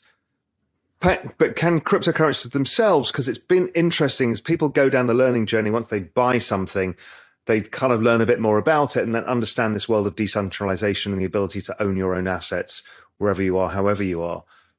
Do you not think that applies as well? That it depends what scales, I guess, right? I'm a little disappointed in that, to be honest. Yeah. And my disappointment has to do with a couple of factors. What we have, and it's interesting to tease out why it may be different, may not be different, why it may be different than NFTs, right? Cryptocurrency has been adopted much more than faster than I expected, but it's all in centralized platforms, right? They say like, oh, 30 million people own cryptocurrency. And how many people own that in their own wallet? Yeah. Tiny numbers, right?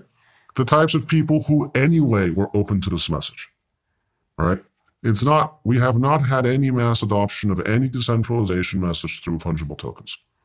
We have had a very interesting financial game, right? A very interesting technological uh, set of breakthroughs, but we certainly haven't built any robust decentralized infrastructure from it, in my opinion, right? And you know, it's been eight years. Well, it's been more than eight years, 2009, but like if you think like like first that first burst into mainstream media was in 2013, right? It's been eight years, well, or nine years. Uh, it'll be nine years soon. Well, I don't know. Is it just dying to happen and it's not going to happen? I don't think so. I don't. Still, most of my friends don't own crypto, but my friends that own crypto all own it on an exchange, I think. Maybe someone a custodian, but mostly an exchange. I, am kind of, and, you know, the person I I defer to in this is the person I kind of trust in this space. uh, I, don't, I don't know if you know Ian Rogers. I'm sure you've come across him. Yeah, uh, of course. And you know, I think what that's what he's trying to build is the ability for us to be able to move around with our own wallet outside of the cold storage of Ledger, but a world where we don't leave it on an exchange because it's so easy to put it into a better environment. I don't know. What are your thoughts? And I kind of I know he's working on that, and you know he's one of the world's best UX people. I kind of figure I don't know. We'll get it. Solved. I don't know. I uh, I have a different view on it. The right. reason NFTs might end up not in custodians is because there there's more things you do with them, right? The default thing you do with Bitcoin right, is yeah, nothing. makes sense. Makes sense. You've got your own wallet because you're using them all the time. Correct, and it's that that's that was one of like my big. I think my most important contribution to the NFT space, why I booted up six five two nine, was like, oh, these might work for decentralization, which is going to be very important in the next decade, in a way that practically across hundreds of millions of people, in a way that tokens, fungible tokens, have. And I mean, it, it's clear that they haven't, right? Like, well, what's the counter evidence that they have? And it's a UX problem, but it's a UX problem more broadly defined. It's fun to play with your NFTs. Yeah. Yeah. It's fun to go mint take your, I don't know, cool cat and mint a baby cool cat or whatever you're doing, or like put, take your NFT and put it in an OnCyber gallery. It's fun. Like, yeah, I'm an adult professional and I'm having fun with it. But it's still fucking terrifying. It's terrifying to move everything around. And you oh, know, oh, I've been, you know, I, I, I, you know, I've, I've had a, you know, I've been involved in this space since 2013, and I'm still terrified of moving stuff around and are you clicking on the wrong link? Have you got the right address? It's it's utterly terrifying. That that needs to get solved, but I think it will get solved. I think uh, a, a, a, wallet experience that allows us not to leave things on exchanges because for the reasons you say, I think I think you're right. Actually, I think NFT is the spearhead from which I also think social tokens because these are things you're going to use all day, every day. Right. Because the, by the way, I mean you remember this in 2013, we were going to use Bitcoin all day, every day as well, but it the the people that they'll like just stash in the ground people won. That's, I mean, okay, fine. The price has gone up. But people don't use Bitcoin. Like the whole Bitcoin community is like, oh, people are trying to scam you out of your Bitcoins. Like, don't use them. Well, okay. Yeah, you go tell a normal, you go tell a normal person, don't use this, but also go through this super complicated infrastructure to like keep it safe. They're going to leave it. I mean, I'm quite technically experienced. I once, at some point, had to move the 6529 museum NFTs from a Trezor to a Gnosis multisig. I got to the point I'm like, oh, this is not, I need to step up my security. And I had to move like a thousand NFTs or something, oh. including some of the most like iconic NFTs in the world. And I spent the whole time terrified that I was going to fumble some type of cultural grail. and then I was going to have to go on Twitter the next day in shame and be like, I know, like, I'm supposedly sophisticated, but I blew it. Can somebody send me my NFT back, please? Uh, my NFTs. Well, it's gone forever. I've like sent summer.jpg into the ether. It will never be seen again. Sorry, guys. And literally, when I spent like, it took me like a week the whole time. That was the whole. I'm like, oh god, I'm just going to screw up epically, right? So the UX sucks. I have spent quite a bit of time behind the scenes, constructively sharing suggestions, let's say, with all the big infrastructure providers of the space. Because, and I get, you know, I have some sympathy for them because the space is like 100x in the last year and a half. And so they're like scrambling around just to make sure the lights stay on. But they need to hire every UX person on the planet. And there needs to be a shift like there was with the auto industry when the auto industry shifted gears from saying accidents are user error to accidents and deaths are our fault. Okay. Every time I see, and this is like every week, someone has accidentally sent their Bored Ape to some scam contract. My takeaway is different than the majority of Twitter is like, oh, there you go, the Bored Ape idiots again. handing over their valuable NFTs, right? No, that should be treated like a Six Sigma quality failure for the industry. Yes. It's obviously knowable by software which contracts are real Bored Apes contracts, right? Like it's trivially knowable. You should flag it at the software level, right? There should be 27 warnings where they're like, don't do this. Like the last three people who did this were underneath their bed in a puddle of tears afterwards. Are you still sure you want to do this? I mean, that's how it should be. And because if we don't get this right, we will end up on centralized systems because it's not societally acceptable or reasonable that someone makes a fairly innocent mistake in the scheme of things and loses a million dollars. Right? Like it can't be that way. Like, no. so the UX has to get much, much better. The industry has to work together. They should set common standards. They should use the same graphics. They should think about, I mean, things that happen. And I'm not blaming anyone because it's just, it's a super challenge. But like MetaMask and Trezor and OpenSea at some point did upgrades at a different time and broke the whole infrastructure between themselves. No one was doing anything wrong, but these things have to interoperate. So there needs to be a significant upgrading and investment of time, energy, UX on safety and usability because it's not ready for mass market yet, right? Like mass market's coming and it's not ready for mass market. And so we're just going to have people blowing themselves up and it's a shame and it's sad. And like a world where the scammers win is not like any type of societal victory, right? Like that's a failure state. And of course, people should spend time in education, right? Like they, they, there is, if I told you I'm giving you keys to my car. And no, you don't have to take driving lessons and you don't have to read the driver's manual and you don't have to pass a driving test. Well, you crashed a car right? I mean, so there needs to be some awareness by people of like, you should learn the basics, but it's primarily an industry problem to solve, I think. Now, we have another risk factor, though, that it's the most frustrating of all is that government is working against us, not with us, right? theoretically, and it's funny, like all the, I think about this primarily in the US and Europe, because quite frankly, you know, China's not going to be on our side on this. I don't think Russia is going to be on our side on this, right? So really, it's like the people who might think it's important that we have constitutional rights on transactions are going to be the major economies. Okay, well, where does everyone stand? The European Union? They lost Web 2 epically to the Americans, right? There's, they are digital vassals to the Americans.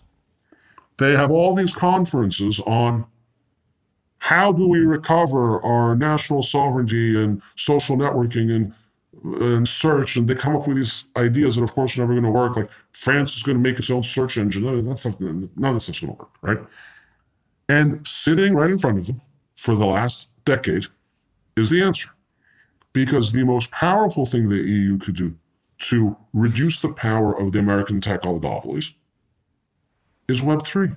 Yeah, because it, it beats the oligopolies. Of course. And they have another advantage that they don't have the Howey test. So you don't have this thing that, like, the second you do something useful for your users, you're violating securities laws. right? Like, if you give nothing to your users, it's, a, it's okay. Like, if you give them their fees back, oh, you're violating their rights somehow. Anyway, I mean, this is what it is. Europe doesn't have this. So Europe has this wide open opportunity to catch up, and they're in the process of fumbling. I don't know if you saw the news today. It moved out of committee. The the like they are one step away from banning wallets, right? They're one step away from saying, yes, the future of crypto in Europe is you're going to hold your crypto in a subsidiary of Deutsche Bank and Societe Generale. Yeah, that's how Web3 is going to happen, right? So EU's fumbling. The US, okay, definitely has much more infrastructure and a much more developed sector. But there has yet to be a party to just grab this by the horns and run with this. Like Trump was pretty deeply anti crypto.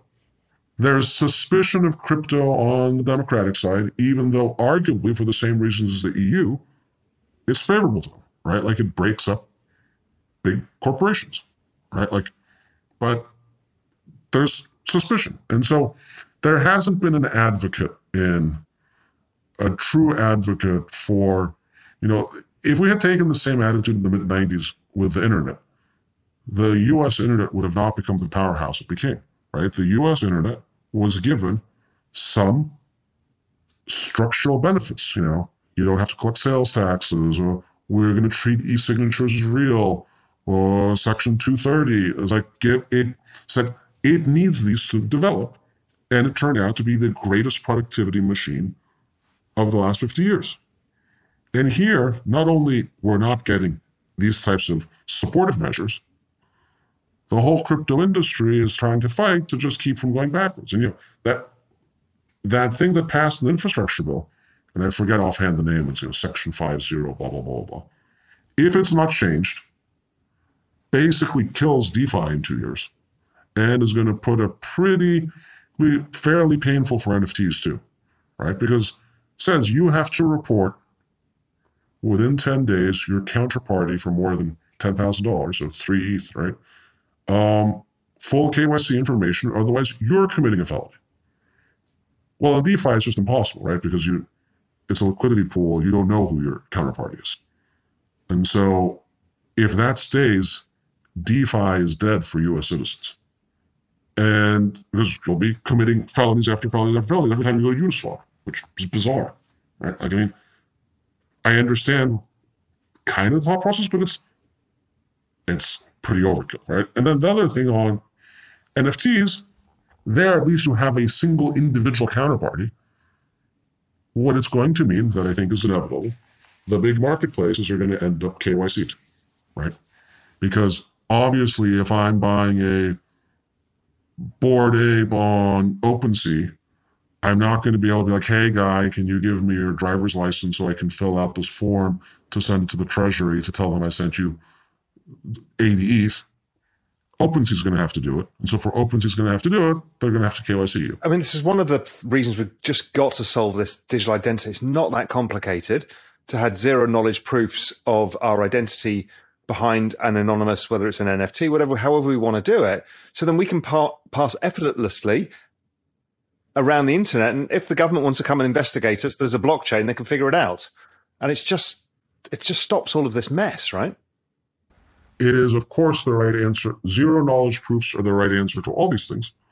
But I'm in Europe these days, and I met with a bank CEO, and I was whining about how many times a year um, primarily organizationally, not my personal life, and I have had to send my utility bill and my ID card to everyone on the planet. Like, I feel like half the institutions in Europe know how many kilowatts I spent last month. Right? Yeah, and my assistant does this every week for me because somebody wants my KYC represented.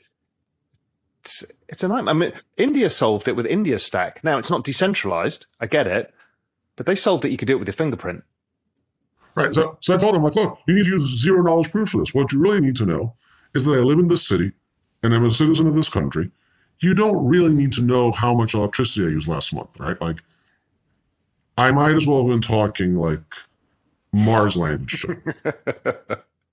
the state of banking infrastructure in Europe and what a zero knowledge proof is and how they're going to integrate it with the banking infrastructure. It's leave aside there's not any political interest in doing this. Even if you, there was political interest, you're talking what, 10, 20 years for that to get integrated across those systems? Right? But the bigger problem is there's no political will for it. If there was political will, of course, the US and Europe have enough technical capacity to do great things.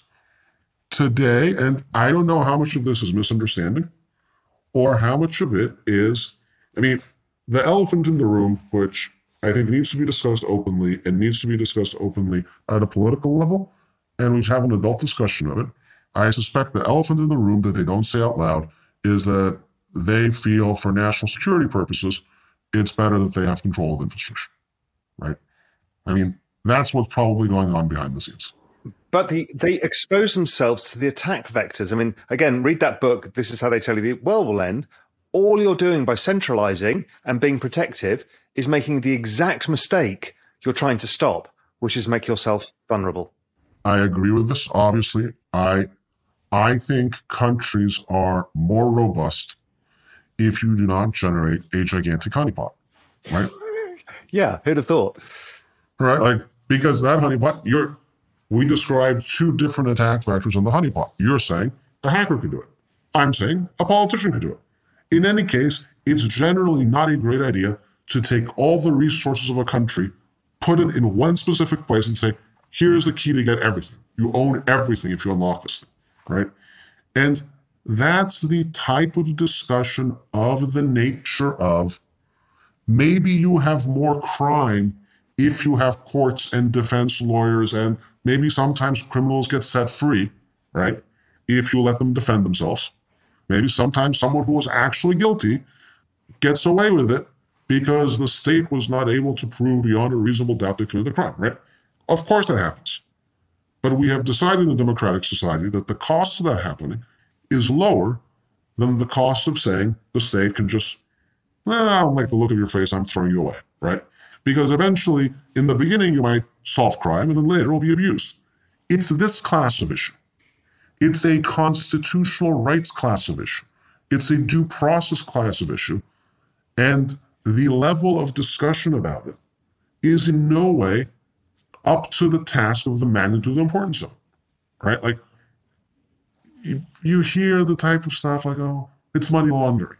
That's not the important point. Of course, there's money laundering in the world. And of course, it's better that there's less money laundering than more money laundering. But this is an architectural discussion. What is the right balance of various things and the right architecture, the right way to do it effectively? I have not seen any reasonable political debate about this so far. I don't know if you have, but I haven't. No, I've not. I don't think people grasp. Although I must admit, I have heard bizarrely the ECB starting to think somewhere in this. They're kind of think tank of people. Yes, there's a bunch of politicians who have their own agendas, but there's actually a bunch of smart people who are trying to tell them the right thing. Um, so it's there, but I don't know if anybody's listening. Yeah. Well, I don't we have to. We have to. So I don't know. I view let me tell you uh, what I think we need to do, right?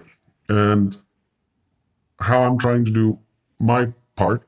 But my part is the basis of everything I do is like to see how many other people I can mobilize. It's not like I can do anything. I mean, I can do something. But the whole idea is to try and mobilize lots and lots of people, that everyone does something in the general right direction. So, bucket one, get people to use NFTs. Doesn't matter what NFT. Doesn't matter if it's an expensive NFT. I feel the feeling of like having a digital visual asset and moving around and owning it and putting a gallery and sitting someone is compelling to people. Even with the nuisance that it is now, it's compelling to people. Of course, it's better if we get the UX better. Of course, it's better if we onboard organizations like it sounds like you're going to do with your social tokens and get people to do it, right? Like, so the more the better. I am in favor of all NFT collections. I am in favor of all infrastructure providers. I'm in favor of all wallets. The more, the better. Because after all this, we have like, I don't know, a million people using NFTs, which means it's nothing. No, it's a small tribe. We, it's a small tribe. We need to get to several billion. And, you know, the staging point's 100 million. So we got to onboard. So that's number one. Number two, we have to get these ideas into the air. And the ideas that there are actual constitutional due process important issues at stake here. It's not a bunch. The important issue, while it's important and sad if someone loses their money by losing their Bored Ape, or if someone, I don't know, commits tax fraud with other, those are normal issues. Those are like normal crime issues that people should deal with as normal crime issues. We have to have the important debate of, in an increasingly digital society, in a society that will be like primarily digital in the 2030s, how should we architect that society? Should it be 10 cents, 10 big corporations in the government? Because I suspect in that world, we become some form of digital serfs. And I don't think, I mean, there might be some people in some government agencies who like that idea, but I don't think this is politically popular no, with voters. I, and I think you're right because what happens, we're in a process of exponential change. And we are trying to use the past as a way to model how we operate in the future. And I'm not, as you say, I'm not really sure anybody's trying to be underhand or even slow. They just don't see the speed at which this is coming towards us and the yeah. magnitude of changes that are here. And I, I just don't think people have. I had a discussion with an MEP in Europe a, a month ago. And I was going on and on about my we have to save the world through JPEGs and the metaverse, this type of thing. and the MEP is extremely sophisticated about crypto. Okay. As far as an MEP is concerned, right? Very, generally sophisticated. But for an MEP, off the charts. And the answer was like, oh, I mean, we Europeans aren't interested in that gaming stuff. We're interested in real life. Right. And I'm like, oh, oh gosh, we have so much work to do. Right. Like, this is an ally. This is someone who's like believes in our objectives. This is someone who's like been promoting crypto for many years in Europe. And it's like, oh, it's a Minecraft little thing, right? It's silly. Like, who cares about this silly stuff? Right? Like, I I remember when Twitter was having the discussion, like, I'm now just old enough to see patterns. Remember when Twitter was having the discussion because Fred Wilson was blogging about it, I think. Not Jack, was Fred. Should it become a protocol or a service? And at the time, it seemed like, like a normal startup business decision. The decision made was totally sensible, right? Like it's the safe choice, right? And Twitter back then was basically where tech bros in San Francisco said, I'm going out to lunch. Who, I mean, who cares really if it's protocol or service? And you fast forward to today, and suddenly, like, it's the arbitrator of global geopolitics somehow, right? But now it's too late. It's a public company, it has shareholders, what have you. It's very interesting. Like, like what could Jack even possibly do now? Nothing, right? It's too late, right? That ship has sailed. And so we're at that phase now. And this is this is the part I spend all day and night thinking about because by the time we get everyone on board to get everyone to your level of sophistication on NFTs and my level of sophistication on NFTs, uh, it's going to be eight years from now, the path dependent story is going to have happened. And so it has to happen now. We need to scale up now. We need to have, and I'm going to say this not to the crypto community, to the NFT community. The NFT community, which still because it came out of the creative professions, sometimes has mixed feelings about business, about scale, about money, whatever. That's right. They have to get past that. We cannot have an impact if we're just playing if we're just playing a small game among ourselves. Eventually, we'll just be like some niche thing, like the guys who are running their own Bitcoin nodes. It'll be there in the corner in our own world, but the rest of the world will head another direction. And so everyone in NFT world who's a builder should, you know, be trying to think how they get 10 and 50 times bigger in the next two or three years. Otherwise, it's not, I mean, we won't get there. The good thing is, I am seeing people thinking of scale. I thought what Yuga did, now it's still small, it's still amongst NFT people, mm-hmm. but was interesting. And I like the fact that Timbaland's building on top of it, creating music. And again, it's not really hit mainstream but it feels like the shots are being taken and there are going to be some breakouts. I've been watching, you know, what Socios and Chiliz have been trying to do with the football clubs. And there's not been a breakout because of how it's been approached. But there are, there are fires, little fires going on everywhere that could turn into the raging bonfire. And the more of these that get experimented with and the more people push, it's getting there. But you're right. We don't have long. Look, Yuga is, and you know, you, uh, one has to abstract between the like I don't know, apes, punks, battle, or whatever, right? Yuga as a business team is for sure the best performing business team in the space, right? Yeah. They they haven't made a wrong move yet. It's impressive. Correct. Right. So I I would my remarks were not addressed at Yuga. They've gone from like zero to a multi-billion dollar business in less than 12 months. That is excellent hyperscaling. Right, so that they're doing great. The the thing is, Yuga has a certain aesthetic, right? and that aesthetic's going to appeal to certain people. And they're trying to be interoperable and do a game and what have you. And that's fine, and that will work.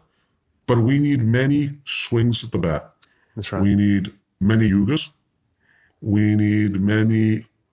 Um, I'm going to say metaverses, but really what I mean like is the metaverse is. If I believe the metaverse is everything, which I do, then really, what we're calling metaverses are just visualization layers right? Like a, it's one way to do a Decentraland and one way to do something yeah. else. And and so I think there there is room for you know the metaverses have all been land first and that's a good model and it's been a very lucrative model and i think lots of people should try that and it looks like yuga's going to try that i think there's room for a different model we're going to try something else at 6529 because a because everyone's trying land-based models so that's covered anyway but I'm not 100% convinced that's the right framework.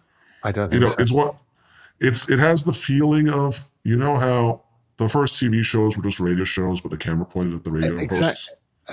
The physical location is not an uh, not a thing in the metaverse.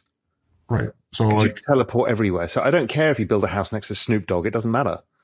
Right. I mean, maybe I want to have to Snoop Dogg. Anyway, but like the idea that you start that the experience starts with a bunch of raw land and then you have to like figure stuff out seems backwards, right? Yeah. Like the experience should start with like something you actually might want to do.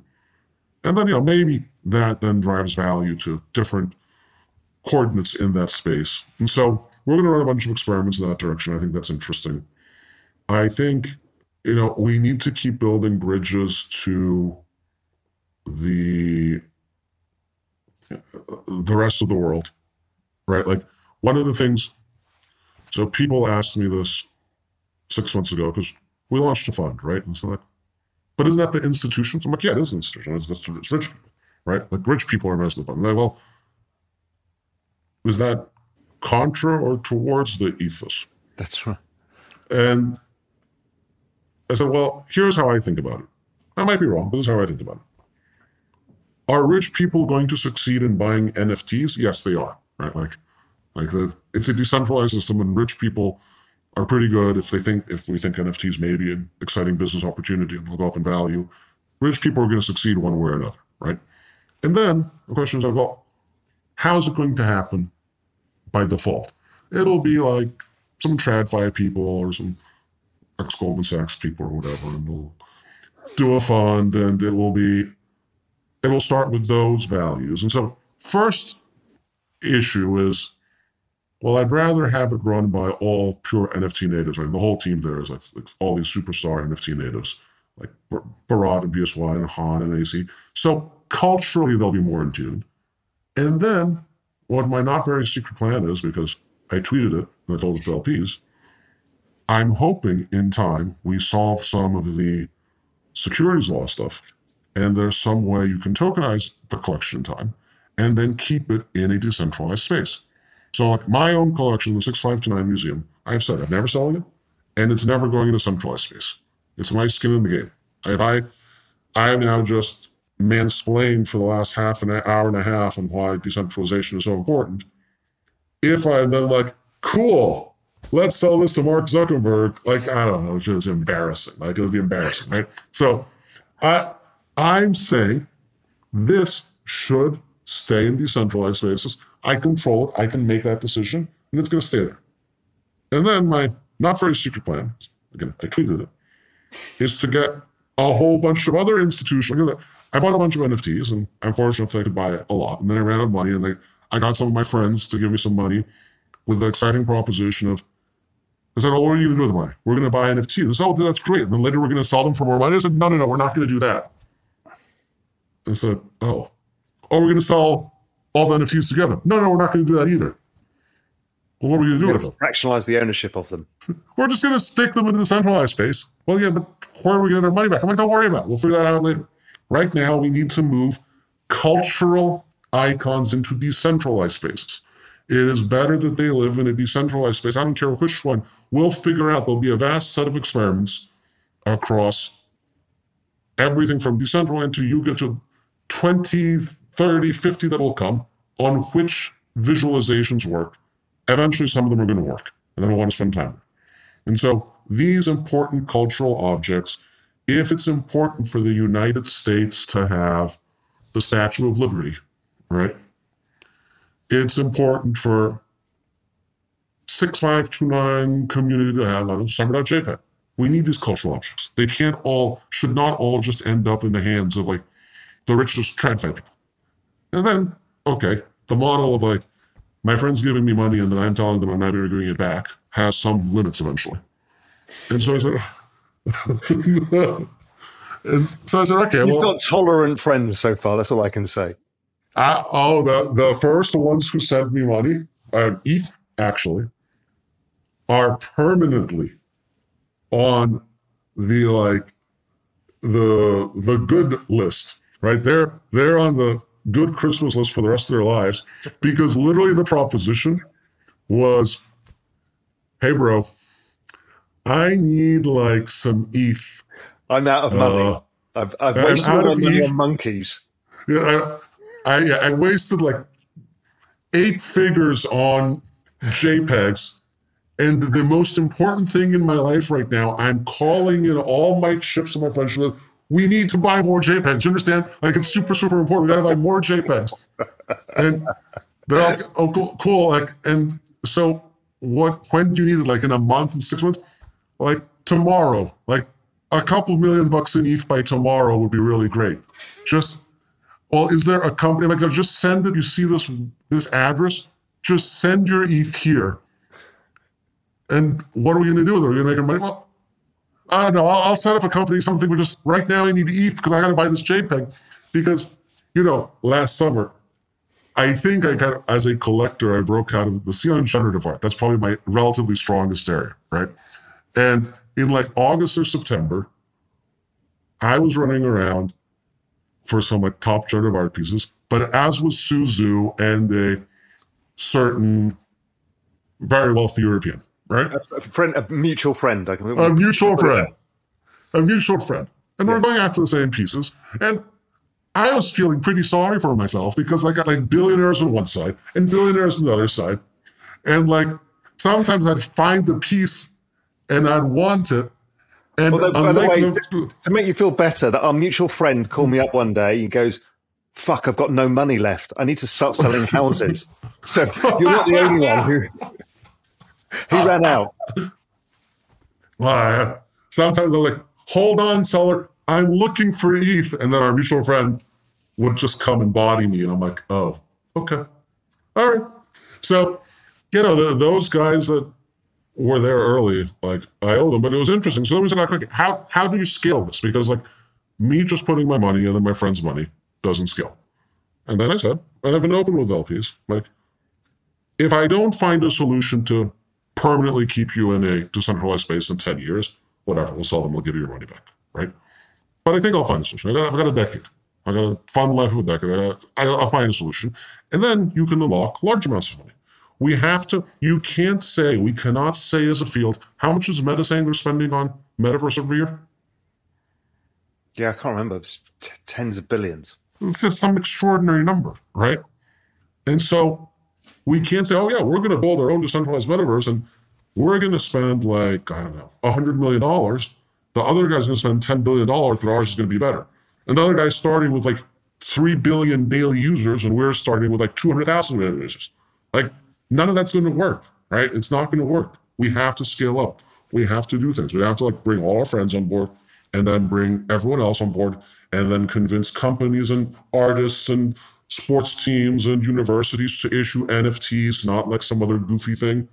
And then bring capital providers on board, but try and find a solution to keep them on the decentralized side, keep them on the that it's important to them and maybe their future generations that maybe the world does not become an oligopoly run by 10 firms, right? Like, I don't think that's a good outcome. And I have, I, I should say this, I have no problem with any of the tech firms. They've done a wonderful job. They're incredible businesses.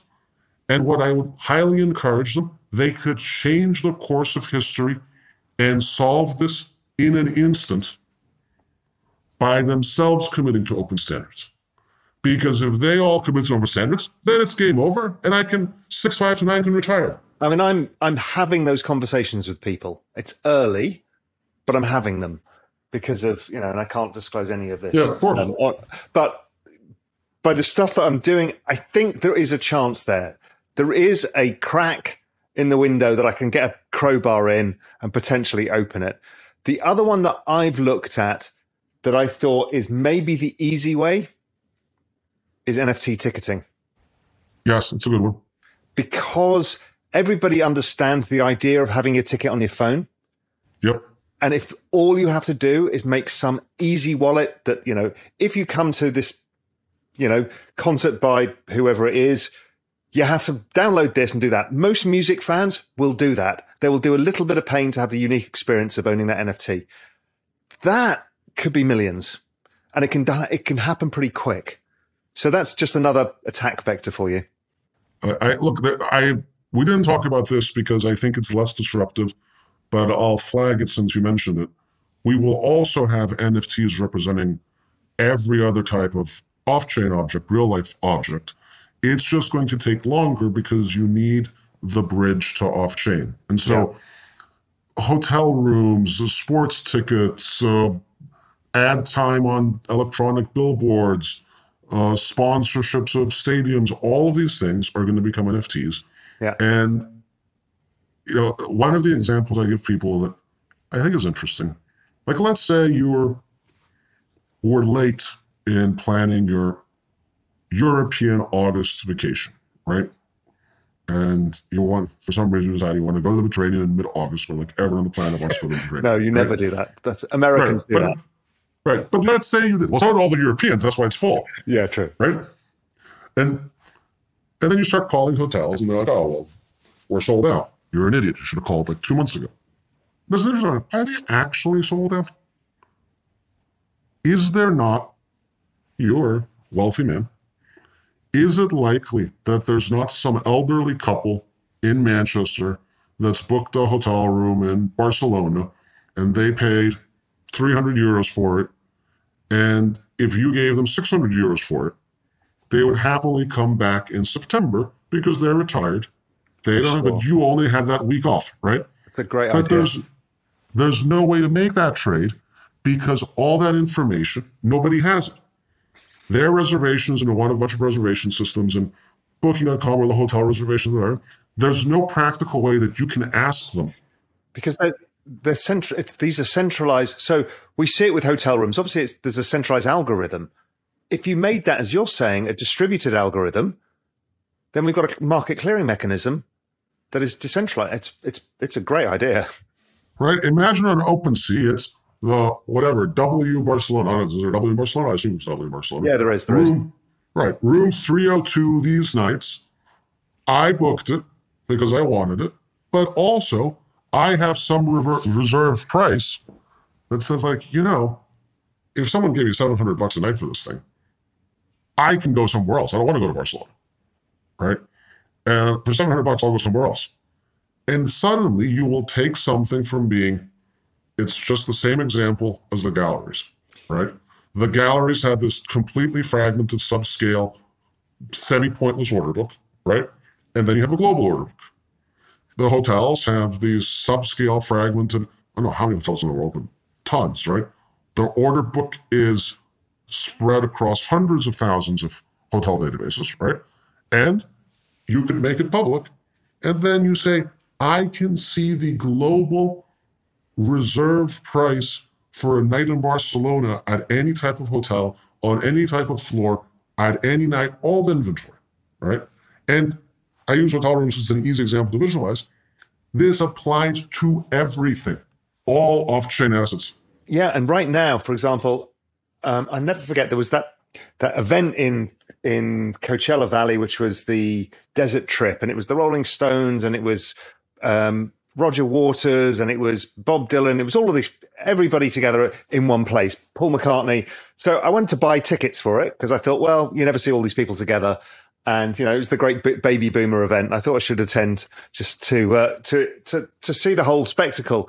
So I tried to buy tickets and on StubHub, you have your eyeballs ripped out. Ticket prices were trading with bid offer spreads of $2,000. and what it was basically was the high frequency market makers in the middle of that taking these massive spreads. Yep.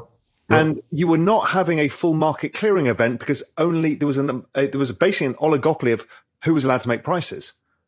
Yep. And it was it was abusive, and that whole system, if it was done in this different way, when you've got you know liquidity providers, liquidity pools, and AMM, before you know it, you've really created an efficient market. The one I've been looking into is time.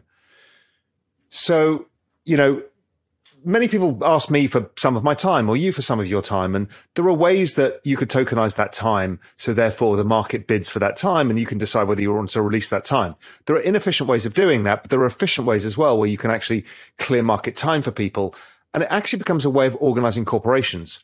So at a corporation, the higher up you are, the more time um, demands that you have. But also you can also be somebody who's uh, really in demand because you're doing too many projects at once and you're good at your job and you've got all of these people wanting your time. If you're time traded freely within the corporation, you allocate resources effectively and you prioritize. It's, there's some really interesting stuff around all of this.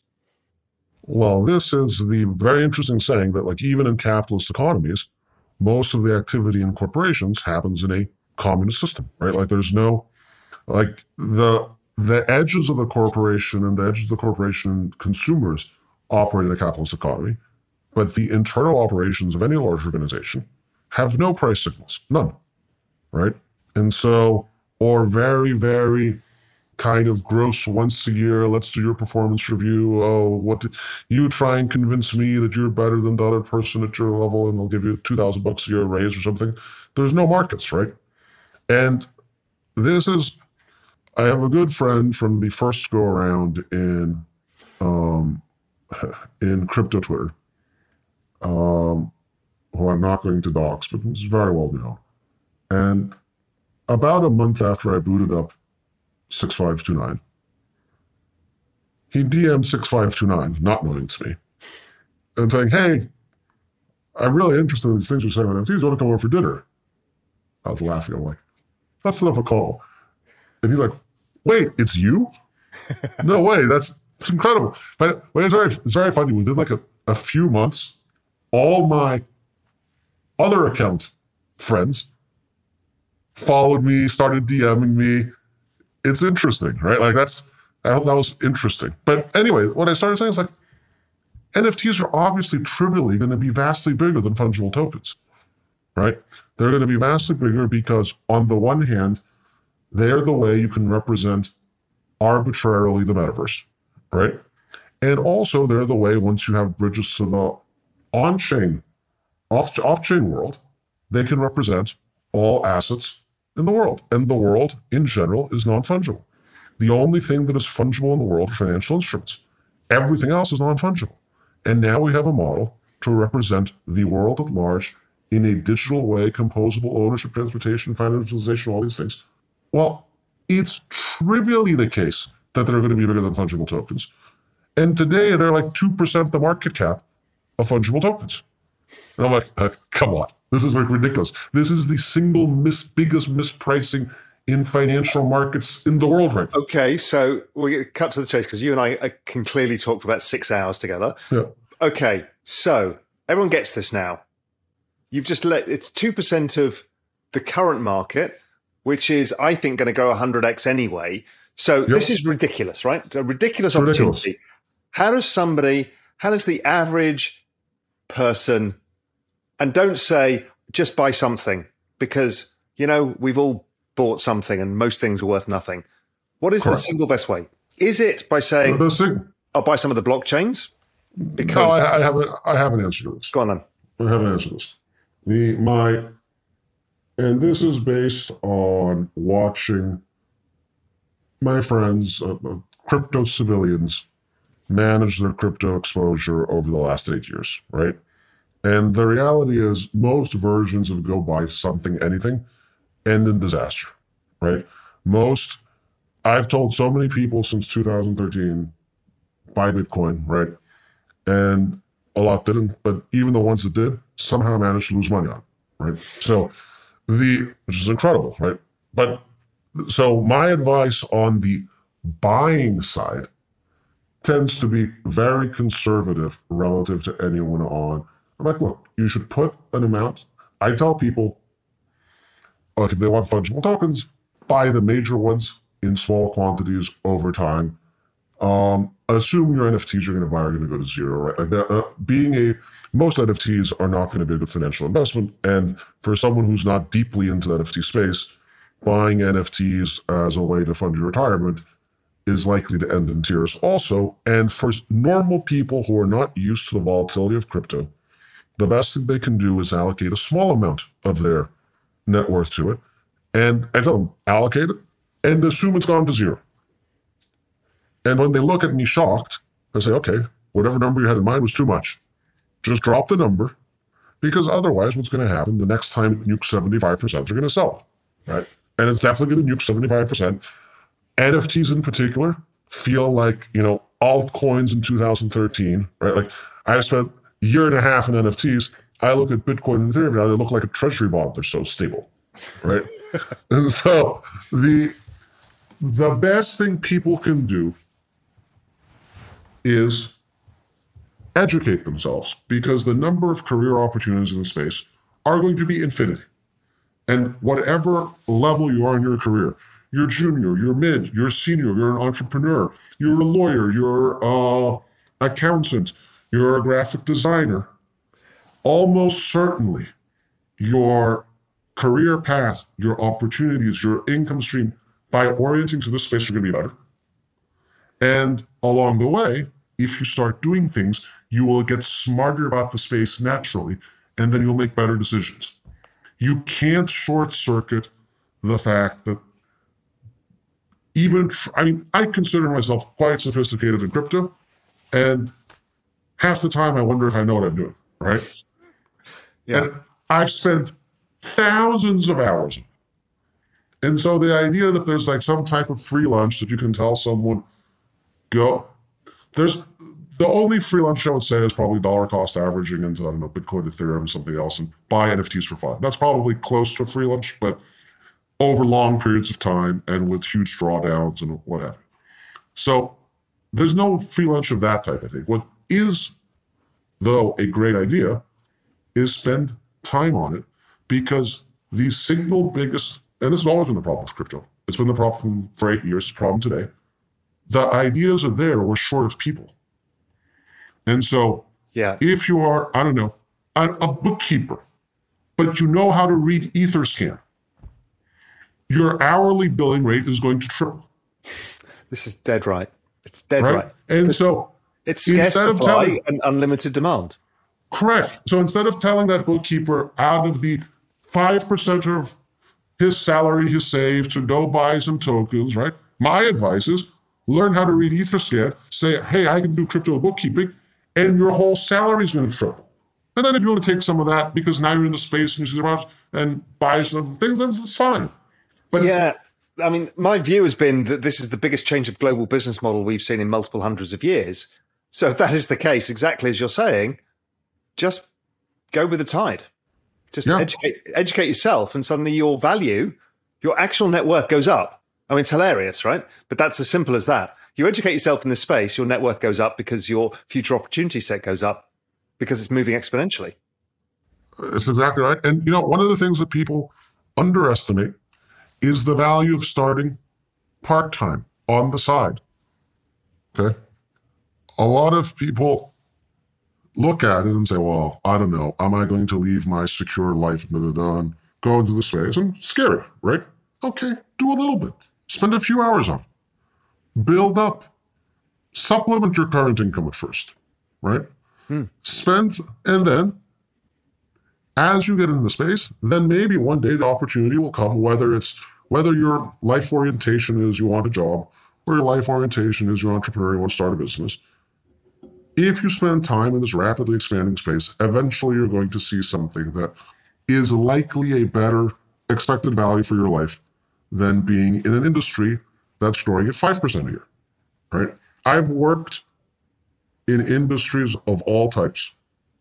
There's nothing more painful than working in an industry that's slowly shrinking. You work yeah. just as hard as in everything else, maybe harder, and you just can't win. It's just this dog fight with your competitors on who can like grab the straps. and it's just painful. There's, not, there's nothing fun about it. And so the economy does give us these price signals. And they say, look, we apply your resources over, apply your labor over here. I think that's interesting. I mean, I, I mean, this was basically the fundamental principle for which I set up Real Vision Crypto. The whole thing, because I've been following this space like you. I felt passionately about it, and I thought people need to understand how big a thing this is. And so I created, a, you know, the rest of Real Vision subscription based, but we did it for free because it is a massive hack to understand what this is. Because if we got the fastest adoption of any technology in all history, it's growing at 185% a year, and you get some information, well, you're now a rarity. You're a rare PFP, and we all know how valuable those are. Exactly. Exactly. Listen, my friend, amazing conversation. Thoroughly enjoyed it. I knew I would. Um, and I really appreciate your time. You've spent a lot of time here helping us think all this through. And um, I think people find it super helpful. Well, thank you for having me. This was a real pleasure. I mean, I feel like we are basically 100% aligned in how we see the world conceptually.